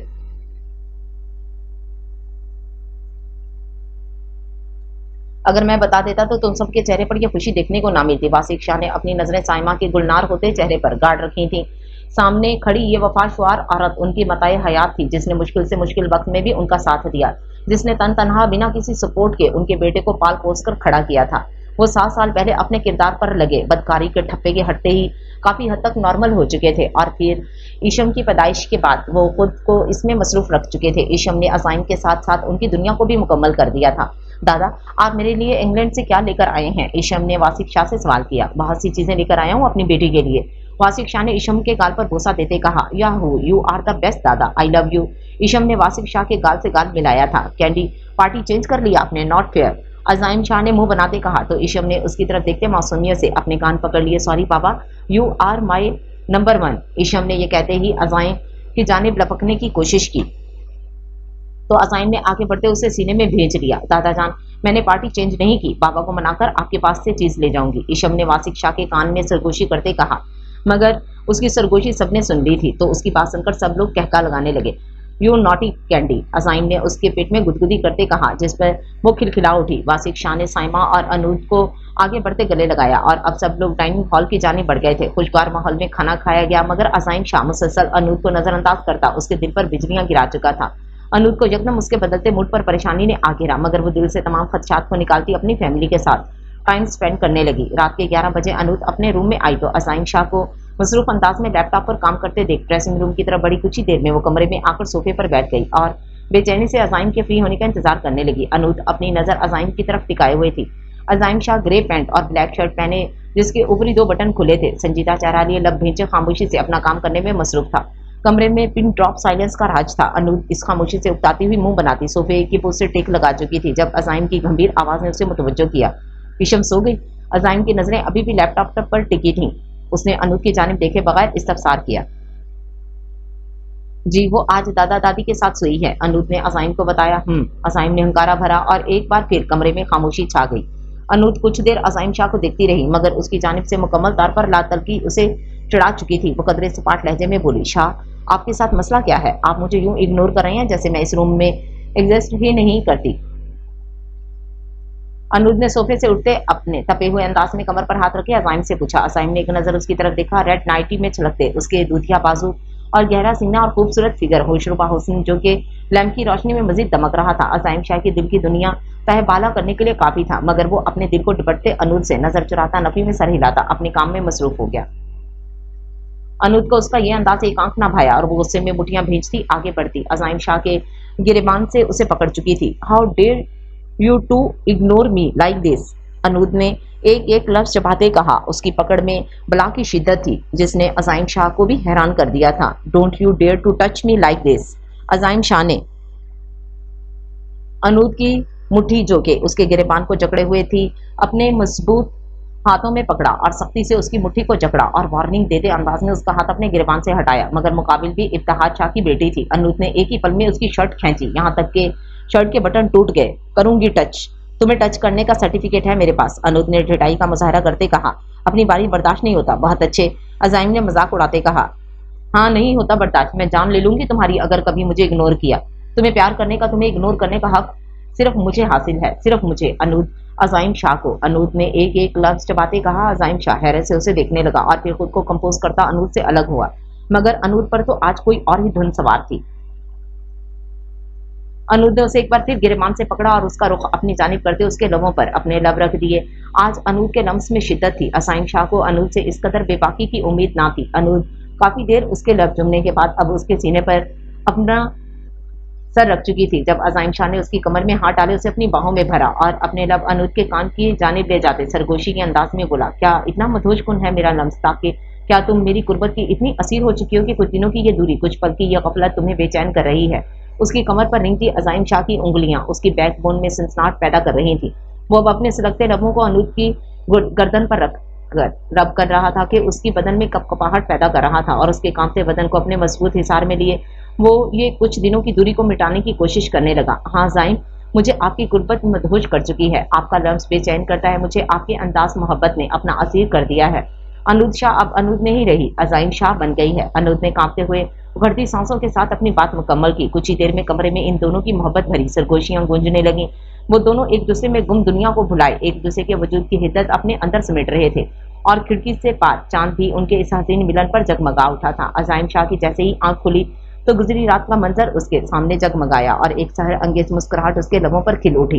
वो तकिए से सर उठाता बेड की पोस्ट से टेक लगाए, अपने बालों में उंगलियाँ चलाने लगा। जबकि उसके लबों पर खिलती मुस्कुराहट किसी सूरत अलग ना हुई। कुछ ही देर में वॉशरूम का दरवाज़ा खुला और सफ़ेद बाथरोब पहने अनूर कमरे में आई। उसकी नज़र जैसे अजाइम शाह पर पड़ी तो वो एक ट्रांस की सी कैफियत में उसे देखने लगी। सामने बैठा ये कोबरू मर्द उसका था, फकत उसका। यह एहसास उसे अपनी किस्मत पर नासा बल्कि काफ़ी हद तक मगरूर बना रहा था। वो अपने लबों पर मुस्कुराहट सजाती उसकी जानी बढ़ी जबकि असाइम शाह जो के लबों पर मुस्कुराहट बिखेरे गहरी सोच में गुम था अनूद ने बैठ पर उसके करीब जगह बनाई और उसे अपनी जाने मुतवजो करने के लिए उसकी गोद में बैठकर उसके चेहरे को अपने दोनों हाथों के प्याले में लेती। उसके डिंपल पर बाइट कर चुकी थी। असाइम शाह ने अनूद का लम्स महसूस करते ही उसकी कमर के गिर्द अपना हिसार कायम किया। Good morning my love, Azaim Shah की गंभीर आवाज़ कमरे में गूंजी। अनूद जो कि अजाइम के गले लगी उसे महसूस कर रही थी। उसकी जानब देखते बोली, morning my sexy man. Anood ने एक आँख तपाते अजाइम से कहा था। Seriously my hot chocolate Azaim ने अनूद की गर्दन में अपना मुँह छुपाते कहा। अनूद अपनी गर्दन पर उसके होठों का लम्स महसूस करती। किसी और ही दुनिया में चली गई। अजाइम शाह भी अपने आप को अनूद की जात में गुम कर चुका था। शाह, आपसे एक बात पूछूँ? अनूद ने अजाइम शाह के सर के बालों में उंगलियाँ चलाते उससे सवाल किया। हम्म मैं सुन रहा हूँ अनूद अजाइम ने बिना सर ऊपर उठाए अनूद को जवाब दिया। शाह, आप मुझसे कल इतने खफा क्यों हुए थे? मुझसे कोई गलती हुई है? अनूद ने अजाइम के कल वाले रवैये पर बात करते कहा। अजाइम शाह ने चौंक कर सर उठाया और फिर अनूद की कमर को अपनी बाहों के हिसार में लेते उसे पीछे की तरफ़ लेटा था, उस पर झुका और उसके होंठों को अपने होंठों में लेते दबाया। अनूद की एक सिस्कारी निकली, अजाइम शाह अनूद की उंगलियों में अपनी उंगलियाँ फंसाते, उसके जिसम पर काबिज होते बोला, आपसे हज़ार बार कहा है कि मैं जाऊक शाह का ज़िक्र अब हमारे बीच नहीं सुनूँगा। उसके बावजूद आप उसका ज़िक्र मामा से कर रही थी और तो और उसकी खातिर आँसू भी बहाई जा रही थी। आपकी इस गलती पर मैंने आपको फूलों की हार डालने से रहा, मिसिस अजाइम शाह। अजाइम ने एक एक लफ्ज चबाते हुए कहा, सॉरी शाह, आइंदा ऐसा नहीं होगा, मैं उसे हमारे बीच नहीं लाऊँगी। अनूद ने अजाइम की तरफ़ देखते कहा और उसका वजूद अजाइम के नीचे दब चुका था। हम्म मान लेता हूँ आपकी बात, लेकिन अगर ऐसा दोबारा हुआ तो? अजाइम ने अनूद की गर्दन पर बाइट करते सफसार किया। अजाइम की नज़रें बात रूप से झलकते अनूद के नीम बरहना जिसम पर थी और वो अनूद के सीने पर झुक चुका था। तो आप जो सजा देंगे, मैं सह लूँगी। अनूद ने आँखें बंद करते कहा। अनूद की बात सुनकर अजाइम शाह के लब मुस्कुरा उठे थे, ठीक है? फिर अगर आइंदा ऐसी कोई भी गलती हुई तो नतज की जिम्मेदार आप खुद होंगी मिसिस शाह। अजाइम शाह ने अनूद के बाथरूम के स्ट्रेप खोलते कहा और एक बार फिर अनूद के जिसम पर काबिज होता, उस पर अपनी शिद्दतें निछावर करने लगा। हफ़्ते बाद का मंजर, कमरे के वस्त में एक गोल मेज रखा था, जिसके इर्द गिर्द सात लोग अपनी अपनी निशत संभाले खामोश बैठे थे। सबकी नज़रें अपने सामने बैठे चीफ पर थीं। वो चीफ को अपनी अपनी कारकर्दगी से आगाह कर रहे थे। चीफ के चेहरे पर उतार चढ़ाव थे। जाने वो इनसे मुतमिन थे या नहीं, इस बात का अंदाज़ा लगाना सबके लिए मुश्किल नहीं, नामुमकिन था। वो सब लोग अपने अपने शोबे के जाने माने खिलाड़ी थे। उनमें से बजाहिर कोई ब्यूरोक्रेट था तो कोई बिजनेसमैन था और कोई एक कॉलेज का प्रोफेसर था। मगर पसपर्दा वो सब एक मिशन पर काम कर रहे थे। वो सब पाकिस्तान की खुफिया इंटेलिजेंस एजेंसी से ताल्लुक रखते थे, मगर ये हकीकत कोई नहीं जानता था। आज भी वो सब चीफ के ऑर्डर पर इस मीटिंग में आए बैठे थे। तभी दाखिली दरवाज़ा खुला। और भारी कदमों की आवाज़ गुंजी। तो तमाम लोग उस जाने मुतवजो हुए थे। सबकी नज़रें आने वाले नए शख्स पर टिकी हुई थी। वो जो कोई भी था, उसने अपने चेहरे को मास्क से कवर कर रखा था। सवाई उसकी पुरकशिश आँखों के, उसका पूरा चेहरा मास्क की मदद से छुपा हुआ था। यहाँ मौजूद कोई भी शख्स जाती तौर पर किसी को नहीं जानता था। उनमें से सब लोग एक दूसरे से अनजान थे। उनका मकसद सिर्फ़ एक था, पाकिस्तान की हिफाजत। ब्लैक जींस ब्लैक की शर्ट और ब्लैक की हुडी पहने। छह फुट से निकलता कसरती जिसम का मालिक। वो शख्स बिना अपना चेहरा दिखाए भी वहाँ मौजूद तमाम नफूस को अपने शहर में जगड़ चुका था। रही सही कसर उसकी दिलकश आवाज़ ने पूरी कर दी थी। सलाम gentleman hope you all are fine sorry मुझे आने में देर हो गई। उस शख्स की गंभीर आवाज़ सुनकर चीफ मुस्कुरा उठे। तुम्हें देर सवेर से आने पर मार्जिन दिया जाता है। इट्स ओके लीव ज़ाहिर है, इतने मसरूफ इंसान हो तुम। वक्त निकालना मुश्किल होता है। चीफ ने उसकी जानब फखरिया अंदाज में देखते कहा और वो चीफ की बात सुनकर अपने सर को शुक्रिया के अंदाज में हरकत देता चेयर घसीटते बैठ गया। वहाँ सब लोगों को इल्म हो चुका था कि ये चीफ का शहीदा है। सो क्या रिपोर्ट है? चीफ ने उसकी जानब देखते हुए पूछा, कराची से दुबई जाने वाली इस शिप पर कब्जा कर लिया गया है। चीफ, और 40 लड़कियों को बाजियाब करवाया गया है। मगर वो बात करते करते रुक गया। मगर क्या लीव, क्या तुम्हें सौंपे गए? काम में मुझे अगर मगर सुननी पड़ेगी, चीफ ने सर्द लहजे में कहा। मुकाबिल ने नफी में सर हिलाते उनकी जानब एक फ़ाइल बढ़ाई। चीफ ने, चीफ मेरी अब तक की इन्वेस्टिगेशन इस फ़ाइल में है। मैंने जितने भी लोग पकड़े हैं,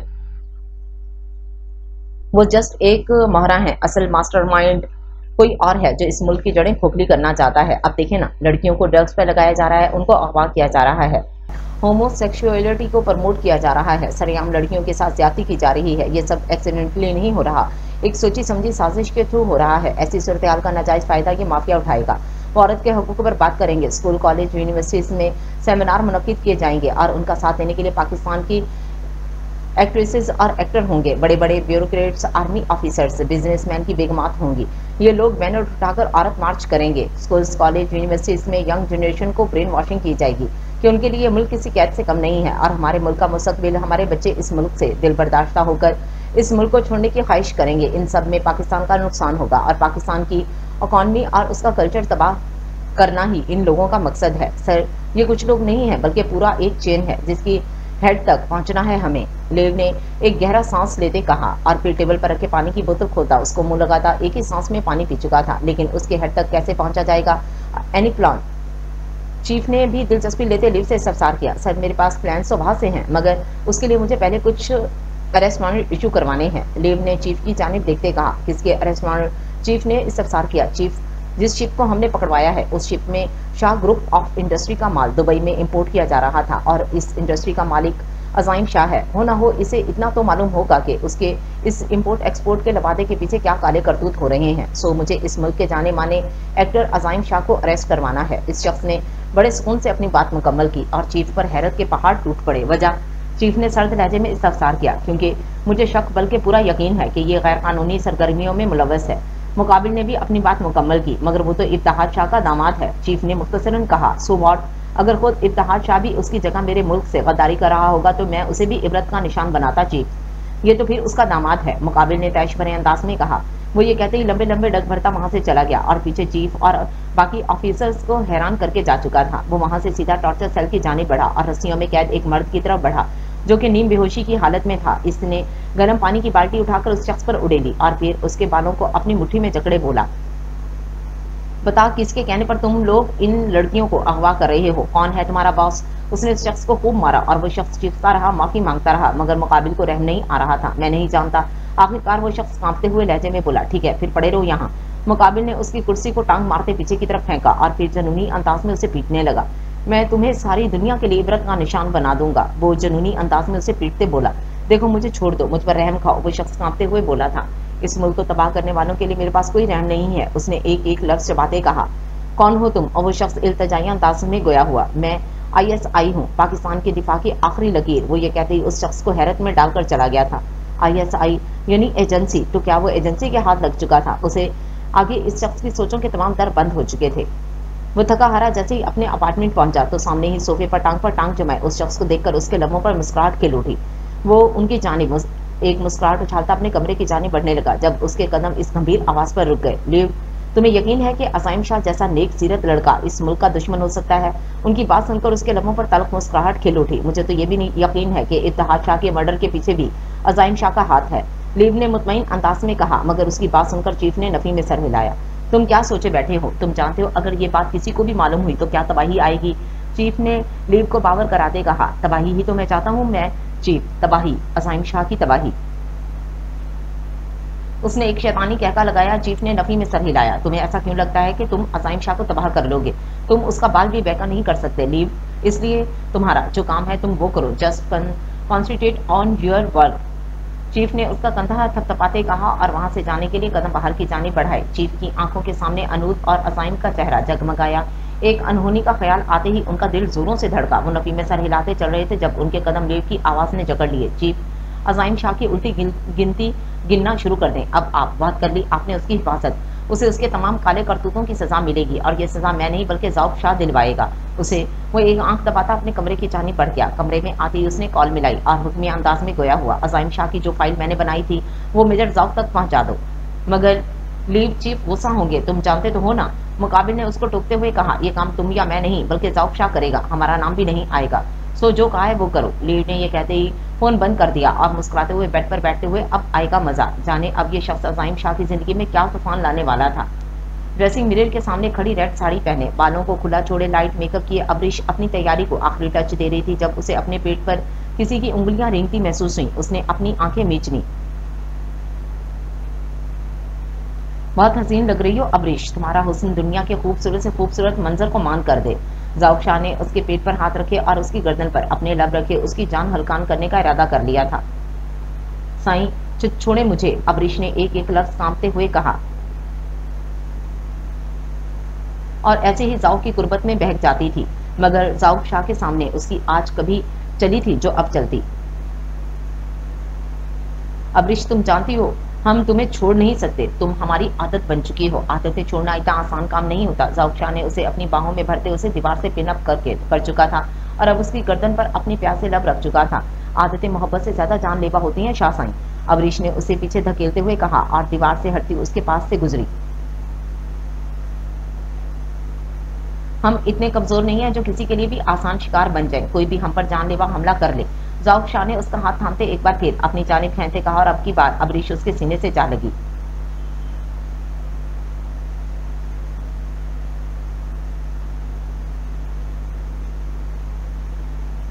जाऊक शाह ने अबरीश का थोड़ी देर पर उंगली, थोड़ी पर उंगली टिकाई और उसका चेहरा ऊपर उठाया। अबरीश ने उसकी आँखों में देखा और फिर जाऊक के शहर में जकड़ी जाने लगी। जाऊक शाह ने उसके लबों पर अपने लब रखे और उसके लबों को चूमने लगा। अबरीश ने भी जाऊक के सर को अपने चेहरे की तरफ़ झुकाया जब जाऊक शाह के अल्फाजों से आसमान से ज़मीन पर लापट था बस, इतनी ही हिम्मत थी, तुम्हारी। कहा था ना, मेरे एक लम्स की मार हो तुम। कैसे मेरी कुर्बत में मचल उठती हो? कैसे अपना आप मुझ पर मारने को तैयार हो जाती हो? जाऊक शाह ने नॉर्मल अंदाज में बात की, मगर अबरीश को लगा गोया उसने। सरेआम उसकी इज़्ज़त नफ्स को पचुका मारा हो। उसकी इज़्ज़त नफ्स, उसके बकार उसकी मोहब्बत को एक ही पल में अपनी अना और जिद से रौंदा हो। अबरीश ने ज़ोर से आँखें मिची और फिर नफी में सर हिला दी। जाऊक शाह को पीछे की जानब धक्का देते बोली love is over major Zauq Haider Shah love is over मैं अब मजीद इस मोहब्बत के हाथों अपनी सेल्फ रिस्पेक्ट कुर्बान नहीं करूँगी। अबरीश ने एक एक लफ्ज चबाते कहा। ड्रेसिंग मिरर के सामने खड़ी रेड बैकलेस गहरे गले वाली साड़ी पहने, बालों को खुला छोड़े लाइट मेकअप किए, अबरीश अपनी तैयारी को आखिरी टच दे रही थी, जब उसे अपने पेट पर उंगलियाँ रिंगती महसूस हुई।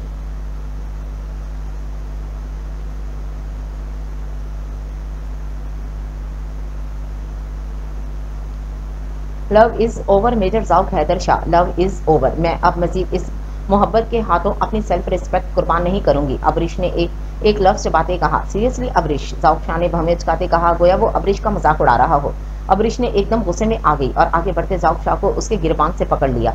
मेरी बात कान खोलकर सुन लो जाउक शाह। मैं तुम्हारी कोई रखेल नहीं हूँ। बीवी हूँ तुम्हारी बीवी। तुमने मुझे अपनी ड्रेस आने की सामने कबूल किया था, अपने निकाह में लिया था। तुम पर तुमसे भी बढ़कर हक रखती हूँ मैं। बात कर ली, तुमने अपनी मनमानिया। तुम्हें मुझे दुनिया के सामने कबूल करना होगा, तुम्हारी बीवी होने के नाते अगर तुम्हारी कुर्बत में बह गई तो क्या खुद को तोप चीज़ समझ लिया तुमने? No Zauq Shah you are nothing but just are useless man Abrish ने जाउक शाह को धक्का दिया और कमरे से चली गई। जाउक शाह उसका ये रूप देख शशर हो गया और फिर खुद पर जब्त करता मुठियाँ भेजता वहाँ से चला गया। अबरीश रोती हुई दूसरे कमरे में आई और दरवाज़ा ज़ोर से बंद करते दरवाजे से टिक लगाई। ज़मीन पर बैठती चली गई।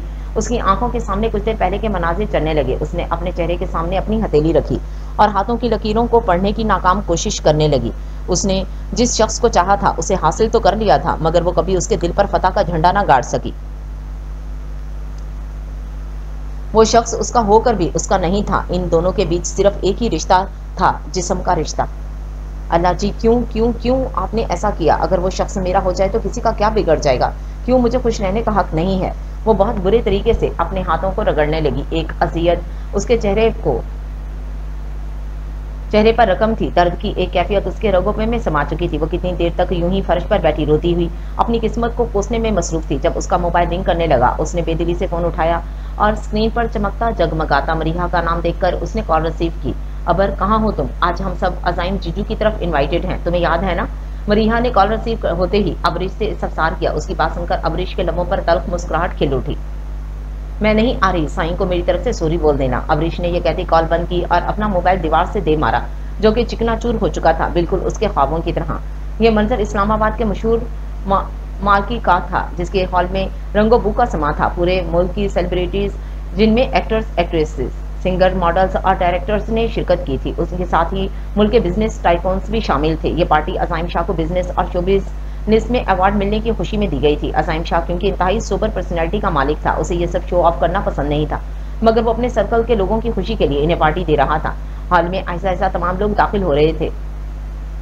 दाखिली दरवाजे पर खड़ा वलीद तमाम मेहमानों का इस्तकबाल कर रहा था। पार्टी जिसकी खुशी में रखी गई थी, वो अभी तक नहीं पहुँचे थे। दूसरी जानब जाऊक हैदर शाह अपने अपार्टमेंट में गुस्से की हालत में निकला और गहरे गहरे सांस लेने लगा। उसने अपनी टांग गाड़ी की बोनट पर मारी थी। वो अपने गुस्से को काबू करने की कोशिश करने लगा। सर जाउक का ड्राइवर उसके कंधे पर हाथ रखे, उससे मुखातिब हुआ, हमारा आज का क्या सेक्जुअल है? उसने बेध्यानी में अपने मुलाजिम से सफसार किया। सर, आज आप अजाइम शाह की पार्टी में इन्वाइटेड हैं। उसके मुलाजिम ने थूक निकलते कहा, चलो, मेजर जाउक ने एक लफ्जी जवाब दिया। सर उसका मुलाजिम हैरान हो गया था। वो जानता था जाउक शाह और अजाइम शाह के बीच नाचाकियाँ चल रही हैं।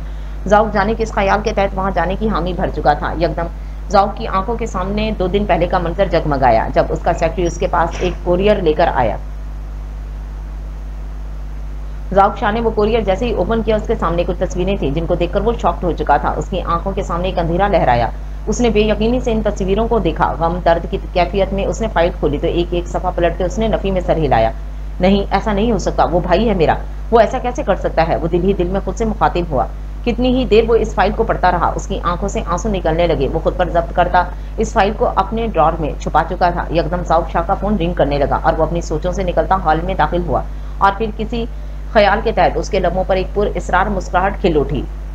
You should have to pay for this Azaim Shah. एक कहका गाड़ी में गुंजा जिसे उसका ड्राइवर संता नफी में सर हिला चुका था। स्टडी रूम के सोफे पर बैठा अजाइम शाह अपने सामने लैपटॉप रखे तेज़ी से टाइपिंग करने में मसरूफ था। उसके चेहरे पर इंतहा की करसकती छाई हुई थी। सामने ही टेबल पर बिक्री फाइल्स का एक अंबार था।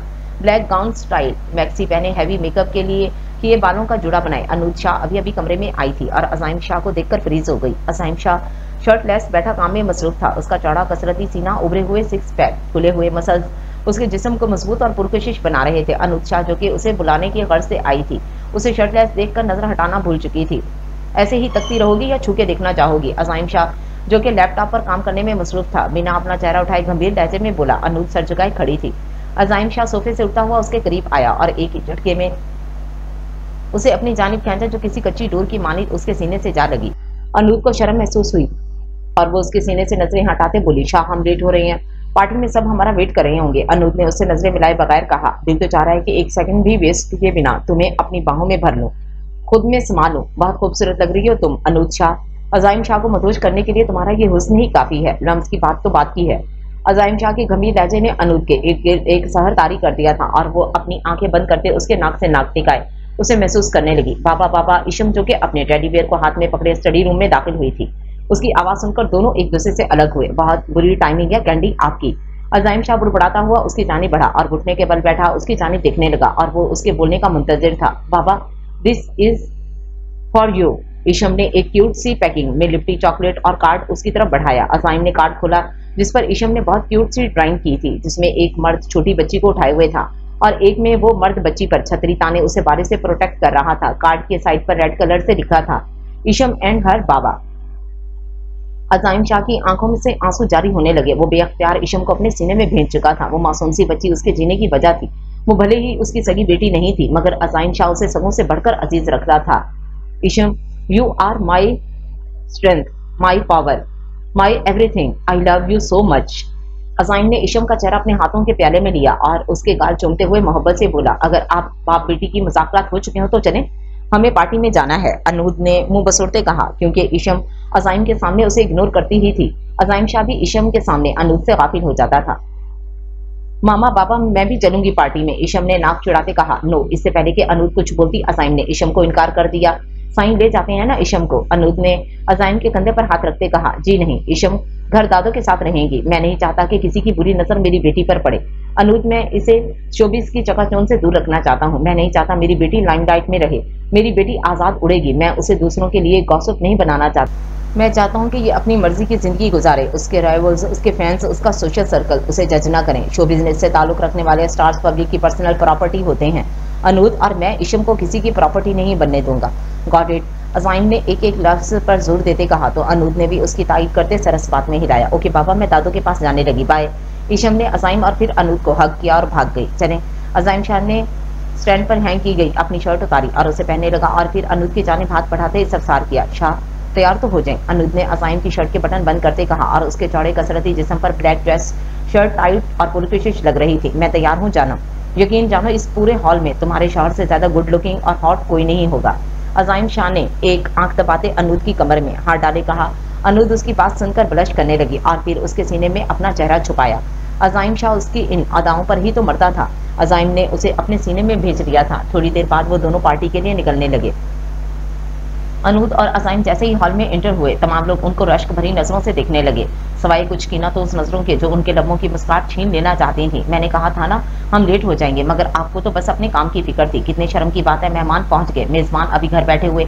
अनूद अजाइम के कान में सरगोशी करते बोली, लोगों को गौसब का मौका चाहिए, और यकीन जानो, मेरी जान मुझे लोगों को कख परवा नहीं है। अजाइम शाह अनूद के कान के करीब अपने लब रखता, गोया हुआ और फिर वो दोनों, सब मेहमानों से मिलते हुए उनसे बातें करने में मसरूफ थे, जब वलीद ने माइक पकड़ा और तमाम लोगों से मुखातिब हुआ। लेडीज़ एंड जेंटलमैन सो जिनकी कामयाबी की खुशी में हमने पार्टी रखी, वो पहुँच चुके हैं। आप सबका बहुत शुक्रिया। जो आप यहाँ अजाइम सर की कामयाबी को सेलिब्रेट करने आए, अजाइम सर, अल्लाह आपको मजीद कामयाबियाँ दे। वलीद ने अजाइम की तरफ़ थम्स अप का साइन दिया। अजाइम शाह ने अदब से सर झुकाया। Let's enjoy everyone Azaim Shah सबकी जानब देखते गोया हुआ। ब्लैक स्लीवलेस लॉन्ग मैक्सी पहने, बालों का मैसी जुड़ा बनाई लाइट मेकअप किए अपनी मैक्सी को एक हाथ से थामे, अपना दूसरा हाथ सालार दुरानी की बाहों में डाले मरिया सालार दुरानी जैसे ही हॉल में कदम रखी। तहम जुबैर मलिक उसे देखते मिसराइज हो गया था। मैंने फैसला कर लिया है मलका। यू विल बी माइंड मैं तुम्हारे दिल की दुनिया को फतह ज़रूर करूँगा। तहम जुबैर मलिक दिल ही दिल में सोता हुआ गोया हुआ। अनूद शाह, जो के मेहमानों से बात करने में मसरूफ थी, अपनी कमर पर रिंगती नसवानी उंगलियाँ महसूस करते हैरान हुई। हाउ आर यू आपी मरिया सालार दौरानी अनुद के कान में सरगोशी करते बोली थी, Miru wow what a pleasant surprise papa, वो मरिया के साथ खड़े सालार को देखकर उसकी जानिब लगी और कितनी ही देर उसके गले लगी, खामोश आँसू बहाने लगी। ओ oh गॉड आप लोगों का मेरो ड्रामा स्टार्ट हो जाता। हाउ बोरिंग मीरू ने इन दोनों को अपनी जाने मुतवजो किया। अनूद हँसते हुए उसके गले लगी। पापा, आपने मुझे बताया क्यों नहीं कि आप आ रहे हैं? अनूद ने सालार दुरानी से सवाल किया। बेटा, अगर बता देते तो अजाइम साई का सरप्राइज़ खराब हो जाता। वो आपको सरप्राइज़ देना चाहते थे। सालार ने अनूद को बताया तो उसके चेहरे पर एक मुस्कुराहट खिल उठी। वो मशहूर नज़रों से अजाइम शाह को देखने लगी, जो कि दूर खड़ा पिलर से टेक लगाए। उसे ही देख रहा था। मरिया, सालार और अनूद तीनों बातें करने लगे। जब सालार की नज़र दाखिली दरवाजे पर पड़ी तो वो शॉक्ट हो गया। इंटरनेट पर खड़े जाउक हैदर शाह को देखकर उसने अपना मुँह मोड़ लिया। जाउक ने भी सालार की इस हरकत को नोट किया था। मामू, मैं बहुत जल्द आपके दिल में अपना खोया मुकाम हासिल कर लूँगा। बहुत जल्द इस वहशी अजाइम शाह के चेहरे से नकाब उतार दूँगा। Just wait and watch Zauq Shah दिल ही दिल में बुड़बड़ाया। अजाइम शाह जाउक की तरफ़ खुशी और बेयकीनी से बढ़ा। मगर जाउक उसे मुकम्मल तौर पर नजरअंदाज किए बार की तरफ़ बढ़ गया था। अजाइम नफी में सर हिलाता अपने मेहमानों को वक्त देने लगा। अजाइम शाह ने वेटर को अपनी तरफ़ बुलाया और जूस का गिलास उठाने के लिए हाथ बढ़ाया कि एक लड़की उसे धक्का देती आगे बढ़ी। जूस अजाइम की शर्ट पर गिरा और उसकी शर्ट खराब कर चुका था। उप्स आई एम सॉरी वो लड़की शर्मिंदा अंदाज में बोली it's okay miss Zaisha Azaim Shah ने जायशा पर एक कटीली नज़र डाली। जायशा उसकी नज़र का मफहूम समझने के बावजूद ढीठ बनी। बार की तरफ़ बढ़ी, जबकि अजाइम शाह शर्ट साफ़ करने के इरादे से वॉशरूम की जानी बढ़ गया। वेल्डन जायशा अब जाकर इसे सरयूज करो। याद रखना, इस कमरे में एक खुफिया कैमरा लगवाया है मैंने। तुम्हारी और असाइम शाह की लाइव वीडियो रिकॉर्डिंग होगी, जो अनु तक पहुंचाना मेरा काम है। जाओ जाकर वीडियो रिकॉर्डिंग करवाओ। फ़िल्म जल्द ही रिलीज़ होगी। जाउक शाह ने उसे आँख मारी तो जायशा मुस्कुराती हुई कमरे की तरफ़ बढ़ी। असाइम शाह जैसे ही कमरे में पहुँचा, उसने अपनी शर्ट उतारकर बेड पर उछाली। वलीद, मेरी गाड़ी से दूसरी शर्ट निकालकर रूम नंबर 260 में ले आओ। अजाइम ने वलीद का नंबर डायल किया और उसे हुक्मिया अंदाज में कहता, फ़ोन पर फ़ोन भी बेड पर फेंक चुका था। जायशा जैसे ही रूम में पहुँची, उसने अजाइम शाह को शर्टलेस देखा और उसकी खूबसूरत पुरकुशिश बॉडी देखकर, उसकी जानब दीवानों की तरह बढ़ी और उसे गले से लगा लिया। What the hell is this Zaisha? Are you in your senses Azaim Shah ने जायशा को पीछे की जानब धकेला। असाइन आप अच्छे से जानते हैं, मैं आपसे कितनी मोहब्बत करती हूँ। असाइन प्लीज़ मुझे मत रोकें, अपने पास आने से। जायशा एक बार फिर उसे दीवानों की तरह लिपटती बोली और इस बार तो उसने असाइन शाह के सीने पर अपने लब भी रखे। और उसके सीने को बेतहाशा चूमने लगी, जबकि असाइन अपना आप उसे छुड़वाने की कोशिश करने लगा। शाह, अनुज शाह अभी अभी इस कमरे में आई थी और बेयकीनी से असाइन को देखने लगी। म्यूज़िक के शोर की वजह से वो ऊपर कॉल सुनने के इरादे से यहाँ आई थी, जब उसे असाइन और उसके पीछे एक लड़की कमरे की तरफ़ जाते नज़र आई। वो उनका पीछा करती इस कमरे में आई और सामने का मंजर देखकर शॉक्ड हो गई। शाह, आप आप ऐसा कैसे कर सकते हैं? आप किसी लड़की के साथ इस हालत में अनूद ने नफी में सर हिलाया और कमरे से बाहर निकलने लगी। अनूद मेरी बात सुने, ऐसा कुछ नहीं है। अजाइम ने अपनी सफ़ाई पेश करने की कोशिश की। शट अजाइम शाह। आपकी ज़रूरत कैसी हुई किसी और औरत के साथ ताल्लुक रखने की? मुझे चीट करने की। आपने इस शादी को मज़ाक बनाकर रख दिया है। How did you do this Anood अपना सर दोनों हाथों में गिराए बेड पर बैठी। यकदम दरवाज़ा नॉक हुआ और वो सब दरवाजे की जाने मुतवजो हुए। सर, आपकी शर्ट वली दरवाज़ा नॉक करते कमरे में आया और असाइन को उसकी शर्ट पकड़ाई और फिर अंदर की सूरत हाल देखकर नफी में सर झटकता। बाहर की जानी बढ़ा। और दरवाजे के पास रुका और पीछे मुड़ता अनूद से मुखातिब हुआ। मैम, मैं एक मुलाजिम हूँ। मेरा आपके पर्सनल मैटर में बोलने का सवाल पैदा नहीं होता बट आपके लिए जानना ज़रूरी है कि सर की शर्ट पर जायशा मैडम ने जूस गिराया था और सर मेरे ही कहने पर रूम में आए थे। जायशा मैडम, क्यों आई कमरे में? किस मकसद से? मैं इस बारे में कोई बात नहीं करूँगा, मगर आपसे ये ज़रूर कहूँगा कि अजाइम शाह कभी आपको चिट नहीं कर सकते। मुलीद ये कहते ही, वहाँ से चला गया और अनूद शाह शर्मिंदा सी सर चुका गई। फिर गुस्से में आगे बढ़ी और जायशा के बालों से उसे पकड़कर एक तमाचा उसके मुँह पर मारा। यू ब्लडी बिच तुम्हारी ज़रूरत कैसे हुई मेरे शहर पर? डोरे डालने की आई विल किल यू अनूद ने उसके बालों को अपनी मुट्ठी में जकड़ा और एक और थप्पड़ उसके मुँह पर दे मारा। अनूद ने जायशा की गर्दन दबाई। अनूद ने अपने लंबे नाखून जायशा की गर्दन में गाड़े थे और उसकी गर्दन से खून के कतरे नुमदार होने लगे। अजाइम शाह शौक सा खड़ा अनूद के रद्दमल पर गौर कर रहा था और फिर आगे बढ़ता जायशा को अनूद से छुड़वाया। अनूद बिहेव पुलिस अजाइम ने अनूप को पीछे किया और उसे समझाते हुए बोला, छोड़े, मुझे मार दूँगी मैं इस बिच को। उसने मेरे शोहर पर नज़र डाली भी कैसे? अनूद ने एक एक लफ्ज चपाते कहा, मगर असाइन ने जायशा का हाथ पकड़े उसे बाहर की तरफ़ धकेला। निकलो निकलो यहाँ से जायशा। असाइन ने जायशा को कहा और फिर ज़ोर से दरवाज़ा बंद करता अनूद की जाने बढ़ा और उसकी तरफ़ देखता एक एक लफ्ज चबाते बोला, क्या कहा तुमने? ये शादी मेरे लिए एक मज़ाक है, एक झूठ है। मेरा दूसरी औरतों के साथ नाजायज रिश्ता है। अजाइम शाह की आँखों में बेयकीनी थी, जबकि अनूद उसे गुस्से से घुर रही थी। अजाइम शाह ने आगे बढ़ते अनूद के बाजू से उसे पकड़ा। यहाँ तक कि उसके नाखून अनूद को अपनी बाजुओं में चुपते हुए महसूस हुए। ब्लैक स्लीवलेस मैक्सी पहने उसका दिलकश सरापा अजाइम शाह को बहकाने लगा था, मगर वो खुद पर काबू पाता अनूद से गोया हुआ। यू मिसिज अनूद अजाइम शाह, समझ क्या रखा है तुमने मुझे? हाँ कौन हूँ मैं? कोई प्ले बॉय कोई बदकिरदार मर्द, कौन हूँ मैं? मुझे अपने शौहर सब तो समझती हो तुम, मगर एतबार जरा बराबर नहीं। हाँ बोलो, अब चुप क्यों हो? अनु, तुम चाहती हो कि मैं तुम्हारी ज़िंदगी से चला जाऊँ तो ठीक है, मैं चला जाता हूँ, मगर मेरी एक बात याद रखना। अगर तुम्हारे लिए ये रिश्ता मज़ाक है तो मेरे लिए ये रिश्ता, मेरी ज़िंदगी में मैंने सच्चे दिल से तुम्हें अपनी लाइफ में शामिल किया था। अगर तुम ना मिलती है ना, अजाइम शाह को तो कसम बाखुदा अजाइम शाह कभी किसी और औरत को अपनी ज़िंदगी में शामिल ना करता। बट तुम, तुमने आज मुझ पर इल्ज़ाम लगाकर मुझे मेरी औकात याद करवाई। जा रहा हूँ मैं। अजाइम ने गुस्से में शर्ट पहनी। उससे पहले कि अजाइम शाह अपनी बात मुकम्मल करता अनूद ने उसे कॉलर से पकड़े अपनी तरफ़ झुकाया। और खुद अपनी एड़ियाँ ऊँची किए। अजाइम शाह के लबों पर अपने लब रखे। उसके लबों को कुफल लगा दिया। अजाइम शाह हैरत का मुजस्मा बना, उसकी हरकत पर साफ़ खड़ा रहा। मगर अनूद के लब मुसलसल उसके लबों को चुम रहे थे और उसकी उंगलियाँ अजाइम के सीने पर रिंग रही थी।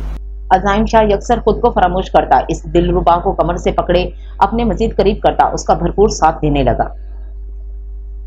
काफ़ी देर बाद अनूद अजाइम से अलग हुई और उसे कॉलर से पकड़े आहिस्ता आहिस्ता चलती दीवार से पिन कर चुकी थी। अनूद अजाइम ने उसको पुकारा। चुप, मिस्टर एरोगेंट। अनूद ने उसके साथ चिपकते कान में सरगोशी करते अंदाज में कहा अनूद ने गौर से अजाइम शाह का चेहरा देखा। वो वक्त गुजरते बला का हसीन मर्द बन चुका था। हल्की दाढ़ी, घनी मूछे, पेशानी पर बिखरे बाल, नीली आँखें, वो रफ उलिये में भी दिलकश लग रहा था। अनूद उसे देखते ही खो गई और उसके लब हिले। द डिज़ायर, उसकी सरगोशी असाइम ने भी सुनी। अनूद अब अपने हाथ की उंगली असाइम की पेशानी पर रखती, एक अदा से उसके चेहरे पर फेर रही थी। असाइम की नाक से गुजरती जैसे ही उसके लबों पर रखी। अजाइम ने अपने लब खोले और उसकी उंगली अपने होठों में दबाई। अनूद ने मुस्कुराते हुए अजाइम के कान के पास बाइट किया। यकदम अजाइम को अपने पेट पर कोई चीज़ चुपती हुई महसूस हुई। उसने जैसे ही नीचे देखा तो अनूद के नाजुक हाथ में एक पिस्टल देख शॉक्ट हो गया। अनूद ने वो पिस्टल ऐसा ऐसा अजाइम के सीने पर ले जाते उसकी गर्दन और फिर थोड़ी पर रखते उसका चेहरा पिस्टल की नोक के सहारे ऊपर उठाया। क्या कहा आपने मिस्टर अजाइम शाह? आप मुझे छोड़ देंगे। नो, मिस्टर अजाइम शाह, आपको मुझसे अब मौत के सिवा कोई चीज़, कोई शख्स दूर नहीं कर सकता। मैं एक तहाज शाह की बेटी हूँ। जो मेरा है, उसे मेरा ही रहना है। मैं इस हवा को भी अपने डिज़ाइन को छूने की इजाज़त ना दूँगा जाके वो सो कॉल्ड एक्ट्रेस आप पर सिर्फ़ मेरा हक है। मेरे अलावा जिसने आपके करीब आने की कोशिश की, मैं आपकी जान ले लूँगी, मिस्टर असाइम वासिक शाह। अजाइम अनूप के लहजे में एक असम और आँखों में जनून देखकर शॉक हुआ। बट मुझे सजा क्यों? वो फकत इतना ही बोला और बोलते बोलते अनूप के हाथ से पिस्टल छीन चुका था, क्योंकि इफ्तहार शाह की बेटी का कोई भरोसा ना था। वो उसे जान से मार देने में एक सेकंड ना लगाती, क्योंकि आप हो गए ही नहीं। तो फिर कोई आप पर गंदी नज़र नहीं रख पाएगा। मेरे पापा ने मुझे सिखाया कि पहले फसाद को नहीं, बल्कि उस, उसकी जड़ को पकड़ो और फिर उसे खाड़ कर फेंक दो। जब जड़ ही नहीं रहेगी तो फसाद कैसा? अनूप की बात सुनते असाइम ने उसका रुख अपनी जाने किया और उसे अपने करीब करते उसकी कमर से पकड़े, अपनी बाहों में उठाया। अनूद ने भी अपनी टांगों से उसकी कमर के गिर्द हिसार कायम किया। असाइम गहरी नज़रों से उसे देख रहा था। अनूद उसकी नज़रों का मतलब समझते उसके गले लग गई। दूसरी जानब अपने कमरे में लैपटॉप की स्क्रीन पर जगमगाता ये मंजर जाउक हैदर शाह के तन बदन में आग लगा चुका था। जाउक ने लैपटॉप उठाकर दीवार से दे मारा था। जितनी कुर्बत भरे लम्हात गुजारने हैं, गुजार लो, अजाइम शाह। क्योंकि अनूद को वापस मेरे पास ही आना है। मैं तुम दोनों को अलग करके ही सुकून करूँगा। तुम दोनों, तुम अनूद के जिसम पर दस्तरस रख सकते हो, मगर उसके दिल में नहीं। You Anood Shah, you. उसने उंगली उठाते अनूद की तस्वीर की जाने इशारा किया। You are my desire, and I will say you from your so called husband. ये कहते ही मेजर जाउक ने एक शैतानी कहका लगाया। Anood Iftehar Shah, the desire. अजाइम Shah Anood को बाहों में लिए बेड की जाने बढ़ा और अनूद को बेड पर गिराने के अंदाज में लिटाया। अजाइम शाह कुन अंदाज में अनूद के दिल का सरापे को देखने लगा। अनूद शाह गहरे गहरे सांस लेने में मसरूफ थी। उसके सीने के उतार चढ़ाव अजाइम शाह को अपनी जाने मुतवजह कर रहे थे। अजाइम के लबों पर एक पूरी इसरार मुस्कुराहट खिल उठी थी। अजाइम शाह ने अपने जिसम से शर्ट उतारी और उसे बेड पर उछालता हुआ। एक ही जश्न में उसे अपने काबू में कर गया था और उसे और उसकी बेताबियों को और बढ़ावा देने लगा था। दोनों की बेचैनियाँ अरूज पर थीं। अजाइम शाह के हाथ अपना बेड खोलने में मसरूफ थे। जब यकदम किसी एहसास के तहत उसने दीवार के एक कोने की तरफ़ देखा तो सामने लगा कैमरा उसकी जीरक निगाहों से मखफी न रह सका। वो अपनी आँखें स्टेड़े नफी में सर हिलाता। अनूद के जिसम पर चादर ओढ़ चुका था। अनूद शाह, जो कि आँखें बंद किए आने वाले लम्हात का सोच रही थी। असाइम शाह के इस अमल पर हैरान होती अपनी आँखें खोल चुकी थी। क्या हुआ शाह? अनूद जो बेड से उठने लगी थी। असाइम शाह के इशारा करने पर वहीं लेट गई। असाइम शाह कमरे के बीच खड़ा कुछ सोच रहा था। एकदम उसकी नज़र ड्रेसिंग टेबल पर पड़े, छोटे से लैंप पर पड़ी। तो उसने वो लैंप अपने हाथ में लिया और उसे ज़ोर से दीवार से मारा, जिससे वो दीवार पर लगा कैमरा एक ही जस्ट में टूटकर ज़मीन बोस हो चुका था। अनूद ने भी असाइम की नज़रों के ताकुब में उस जानब देखा और कैमरा देखकर तमाम सूरत हाल समझ चुकी थी। शाह, मेरे ख्याल से हमें घर जाना चाहिए अनूद ने आगे बढ़ते असाइन के कंधे पे हाथ रखते कहा। अनूद कोई हमारे बीच फूट डलवाना चाहता है? अनूद मैंने ज़िंदगी में कभी आपसे कुछ नहीं मांगा। आज मांगना चाहता हूँ, मुझे मुझे दोगी। असाइम ने आस ही नज़रों से अनूद की जानब देखा। आप मांग कर देखें अजाइम शाह। अनूद ने अजाइम का हाथ अपने दोनों हाथों में लेते कहा, मुझे कभी तनहा मत छोड़ना। मुझ पर एतबार करना, अनूद। अगर तुमने मुझ पर एतबार ना किया तो मैं तो जीते जी मर जाऊँगा। असाइम शाह की बात सुनकर अनूद ने उसे गले लगा लिया। शाह, मैं खुद से ज़्यादा आप पर एतबार करती हूँ। प्लीज़ ऐसी बातें कभी मत करना। अनूद ने असाइम को पुरयकीन लहजे में कहा और फिर असाइम उससे अलग होते बोला मेरे ख्याल से बाकी का रोमांस घर जाकर करना चाहिए। हमारा ये स्पेशल मोमेंट तो स्पाइल कर दिया किसी ने। अजाइम ने हंसे हुए कहा, मगर उसके चेहरे पर यकदम इंतहा की करफटकी छा गई थी। वो अनूद को लेता इस होटल से निकलता, अपनी गाड़ी की जानी बढ़ा। दूसरी जानब जाउक हैदर शाह शदीद गुस्से में शाह हवेली से निकला। उसके चेहरे पर बला का गुस्सा था। उसे रह रहकर अजाइम और अनूद के पर्सनल मोमेंट जहन में आ रहे थे, जिससे उसके तन बदन में आग लग चुकी थी और वो गुस्से में ड्राइविंग करता अवरिश के अपार्टमेंट पहुँचा। पूरे रास्ते उसने ड्रिंक की थी। सुकून, उसने आँखें मूंदते फकत एक लफ्जी जुमला अदा किया। वो जैसे ही सीढ़ियाँ चढ़ता अपने अपार्टमेंट के तक पहुँचा तो गहरा सांस खारिज करता, अंदर की जाने बढ़ा। अपार्टमेंट में घुप, अंधेरे का राज था। जाउक शाह मोबाइल की टॉर्च ऑन करता, अपने और अब्रिश के मुस्तरका कमरे की तरफ़ बढ़ा। कमरे में दाखिल होते ही उसकी नज़र ब्लैक नाइटी पहने किसी गहरी सोच में गुम। अबरीश पर पड़ी। अबरीश का दिल का सरापा ज़ीरो वॉल की बल्ब की रोशनी में खूब चमक रहा था और मेजर जाउक शाह को अपनी जानब खींच रहा था। जाउक शाह एक ट्रांस किसी कैफियत में अबरीश की जानब बढ़ा और उसके करीब पहुँचते उसकी कमर में हाथ डाले। उसे अपनी जानब खींचा। अबरीश जाउक का लम्स महसूस करते ही शिद्दत से काँप उठी। जाउक शाह ने अपने लब अबरीश के कंधे पर रखे और इन्हें चूमने लगा। जाउक के होंठों का नरम गरम लम्स अबरीश के वजूद को तस्कीन पहुँचा रहा था, मगर वो खुद पर जब्त करते उससे अलग हुई। कहाँ जा रही हो अबरीश? अबरीश जैसे ही जाउक के पास से गुजरी जाउक ने उसे अपनी जानब खेलते सवाल किया। मुझे नींद आ रही है, सोने जा रही हूँ। अबरीश ने एक एक लफ्ज पर ज़ोर देते कहा, तुम ऐसे नहीं सो सकती। जाऊक ने उसे टोका। क्यों? अबरीश ने सवाल किया, क्योंकि मुझे नीड हो रही है अबरीश जाऊक ने आगे बढ़ते अबरीश के लबों पर अपना अंगूठा फेरते कहा, मैं तवाइफ नहीं हूँ, ना ही तुम्हारी रखेल हूँ, जो तुम्हें, जो तुम्हारी नीड पूरी करने के लिए ऑल टाइम मैसर हूँ। मैं एक शरीफ बाप की बेटी और एक गैरतमंद भाई की बहन हूँ। मेजर जाऊक हैदर शाह। अपनी ये नीट जाकर किसी रखेल के साथ पूरी करो। जब तक तुम मुझे मेरा हक नहीं देते, इस मुआरे में नाम नहीं देते, तब तक मेरे करीब आने की ज़रूरत मत करना। अबरीश ने एक एक लफ्ज पर ज़ोर देते कहा और जाऊक को धक्का देती वहाँ से जाने लगी। जाऊक शाह ने खुद पर काबू पाया और अबरीश से गंभीर लहजे में बोला, तुम पर मेरा हक है, अबरीश शाह, और तुम्हारे करीब आने से तुम मुझे रोक नहीं सकती। ये कहते ही जाउक शाह ने अबरीश की कमर पर हाथ डाले, उसे अपने करीब किया और उसके लबों पर अपने लब रखे। उसकी फरार की राहें मफकूद करने लगा था। अबरीश ने खुद को छुड़वाने की कोशिश की और जाउक शाह की बड़ी मुश्किल से खुद से अलग करते बोली जाउक हैदर शाह, तुमने मुझे अपनी आनी की तरह समझ रखा है। इफ्तार शाह के निकाह में होकर दूसरे मर्दों के बिस्तर गर्म करती रही। मैं आलैन क्यानी नहीं हूँ जो तुम्हारा बिस्तर गर्म करूँ और बदले में सवाई जिल्लत के कुछ हासिल ना हो। इससे पहले कि अबरिश मजीद कुछ बोलती, उसके इन अल्फाज ने जाउक शाह के अंदर का जानवर जगा दिया था। वो गुस्से में आगे बढ़ा, क्या कहा तुमने मेरी आनी के बारे में? क्या बकवास की? तुम जानती ही क्या हो? मेरी आनी के बारे में अबरिश मलिक। मेरी आनी का किरदार ओस के कतरे से ज़्यादा साफ़ और शफाफ था। तुमने मेरी आनी के बारे में इतनी घटिया बात की तो की कैसे? जाउक शाह ने अबरीश के मुँह पर थप्पड़ मारा और फिर उसे मारता ही गया। अबरीश ज़मीन पर गिरी तो जाउक शाह ने अपनी पेंट का बेल्ट खोला और वो बेल्ट अबरीश की पीठ पर मारना शुरू कर दिया। अबरीश की चीखें पूरे कमरे में गूंज रही थी। वो मुजरमों की दुर्गत बनाने वाली बहादुर और मज़बूत अबरीश मलिक आज अपने शोहर के हाथों बुरी तरह पिट रही थी। खुदा के सिवा उसका कोई परेशान हाल ना था। Sai please leave me Sai, मुझे छोड़ दें। अबरीश मलिक अपने पेट पर हाथ रखे बुरी तरह रो रही थी। जाऊक शाह की नज़र उसके हाथ पर पड़ी, जो वो अपने पेट पर रखे हुए थी। और फिर जाऊक शाह ने अबरीश को उसके बालों से पकड़कर फर से उठाया। अबरीश की टांगे काँप रही थी, मगर वो फिर भी खड़ी रही। मेरी आने के बारे में बकवास करने वालों को मैं नहीं बख्शा करता। अबरीश मलिक, काश इफ्तार ज़िंदा होता और तुम्हें बताता मेरी आने को दी गई एक एक अजियत का किस तरह उसकी बेटी से बदला लिया था मैंने। जाउक शाह ने यह कहते ही अबरीश के पेट में टांग मारी और अबरीश की चीखें निकलने लगी।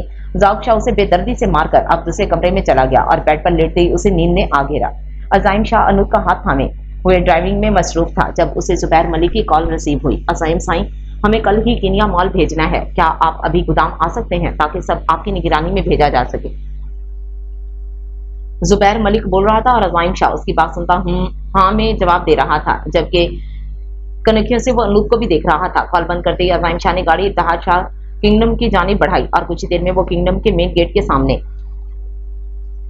गाड़ी खड़ी किए हुए था। जानम, आप घर जाओ। मैं ज़रूरी काम से ऑफ़िस जा रहा हूँ। सुबह नाश्ते पर मुलाकात होगी। अजाइम शाह ने अनूद के बालों को लट उसके कानों में अड़सी और गंभीर लहजे में बोला। अनूद ने अस्पात में सर हिलाया और उसके गाल पर किस करती अंदर की जानी बढ़ गई। अनूप के जाते ही अजाइम शाह के लबों पर खिलती मुस्कुराहट संजीदगी में बदल गई। और वो अपनी गाड़ी का रुख मोड़ चुका था। आसमान की नीलीगों स्याही छुटने वाली थी। सुबह के चार बजे के रिबी पार्क में एक बेंच पर बैठा लेव किसी गहरी सोच में गुम था। और अभी कुछ देर पहले ही अपने किसी ज़रूरी काम से वापस आया था। और फिर नमाज़ का इंतज़ार करता इसी पार्क में ही बैठ गया। पार्क का चौकीदार, क्योंकि उसे जानता था, इसलिए वो किसी भी वक्त वहाँ आता जाता रहता था। एकदम अपनी कलाई में बंदी घड़ी की वाइब्रेशन सुनकर वो चौंक उठा।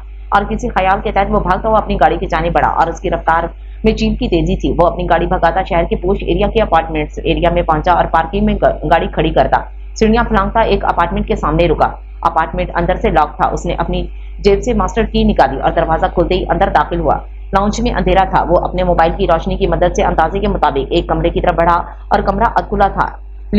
जैसे ही अंदर दाखिल हुआ, सामने के मंत्र ने उसके पाँव से ज़मीन खींच ली थी। उसे अपना सांस बंद होता महसूस हुआ। सामने ही फर्श पर टूटी बिखरी हालत में बेहोश पड़ी अबरीश को देखकर उसका रंग फक हो गया। उसने जल्दी से अपनी जैकेट उतारकर अबरीश के नीम बरहना वजूद को कवर किया और उसे अपनी बाहों में भरता अपार्टमेंट से लेकर निकला। उसके लिए एक एक कदम उठाना मुश्किल हो रहा था क्योंकि अबरीश की नर्व्स बहुत स्लो चल रही थी, गोया वो ज़िंदगी से हार चुकी थी।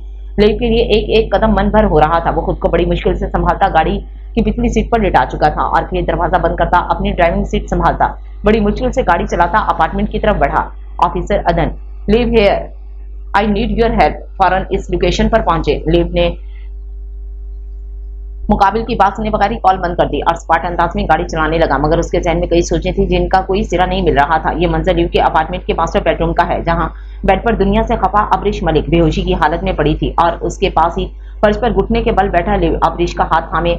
उसे देखने में मसरूफ था। चीफ की आँखों से आँसू बह रहे थे। इन्हें अबरीश की हालत पर तरस आ रहा था। उसकी नज़र लीव पर पड़ी और लीव के चेहरे पर दर्द, तकलीफ़, असियत की इंतहा करब जाने क्या क्या रकम था। चीफ जैसे जमाना शनास इंसान के लिए अंदाज़ा करना मुश्किल था। लेव चीफ की नज़रें खुद पर जमी देख नफी में सर हिलाता उठा और अबरीश का हाथ छोड़ता कमरे से जाने लगा। उसके पास इस वक्त चीफ के सवाल करती नज़रों का कोई जवाब नहीं था।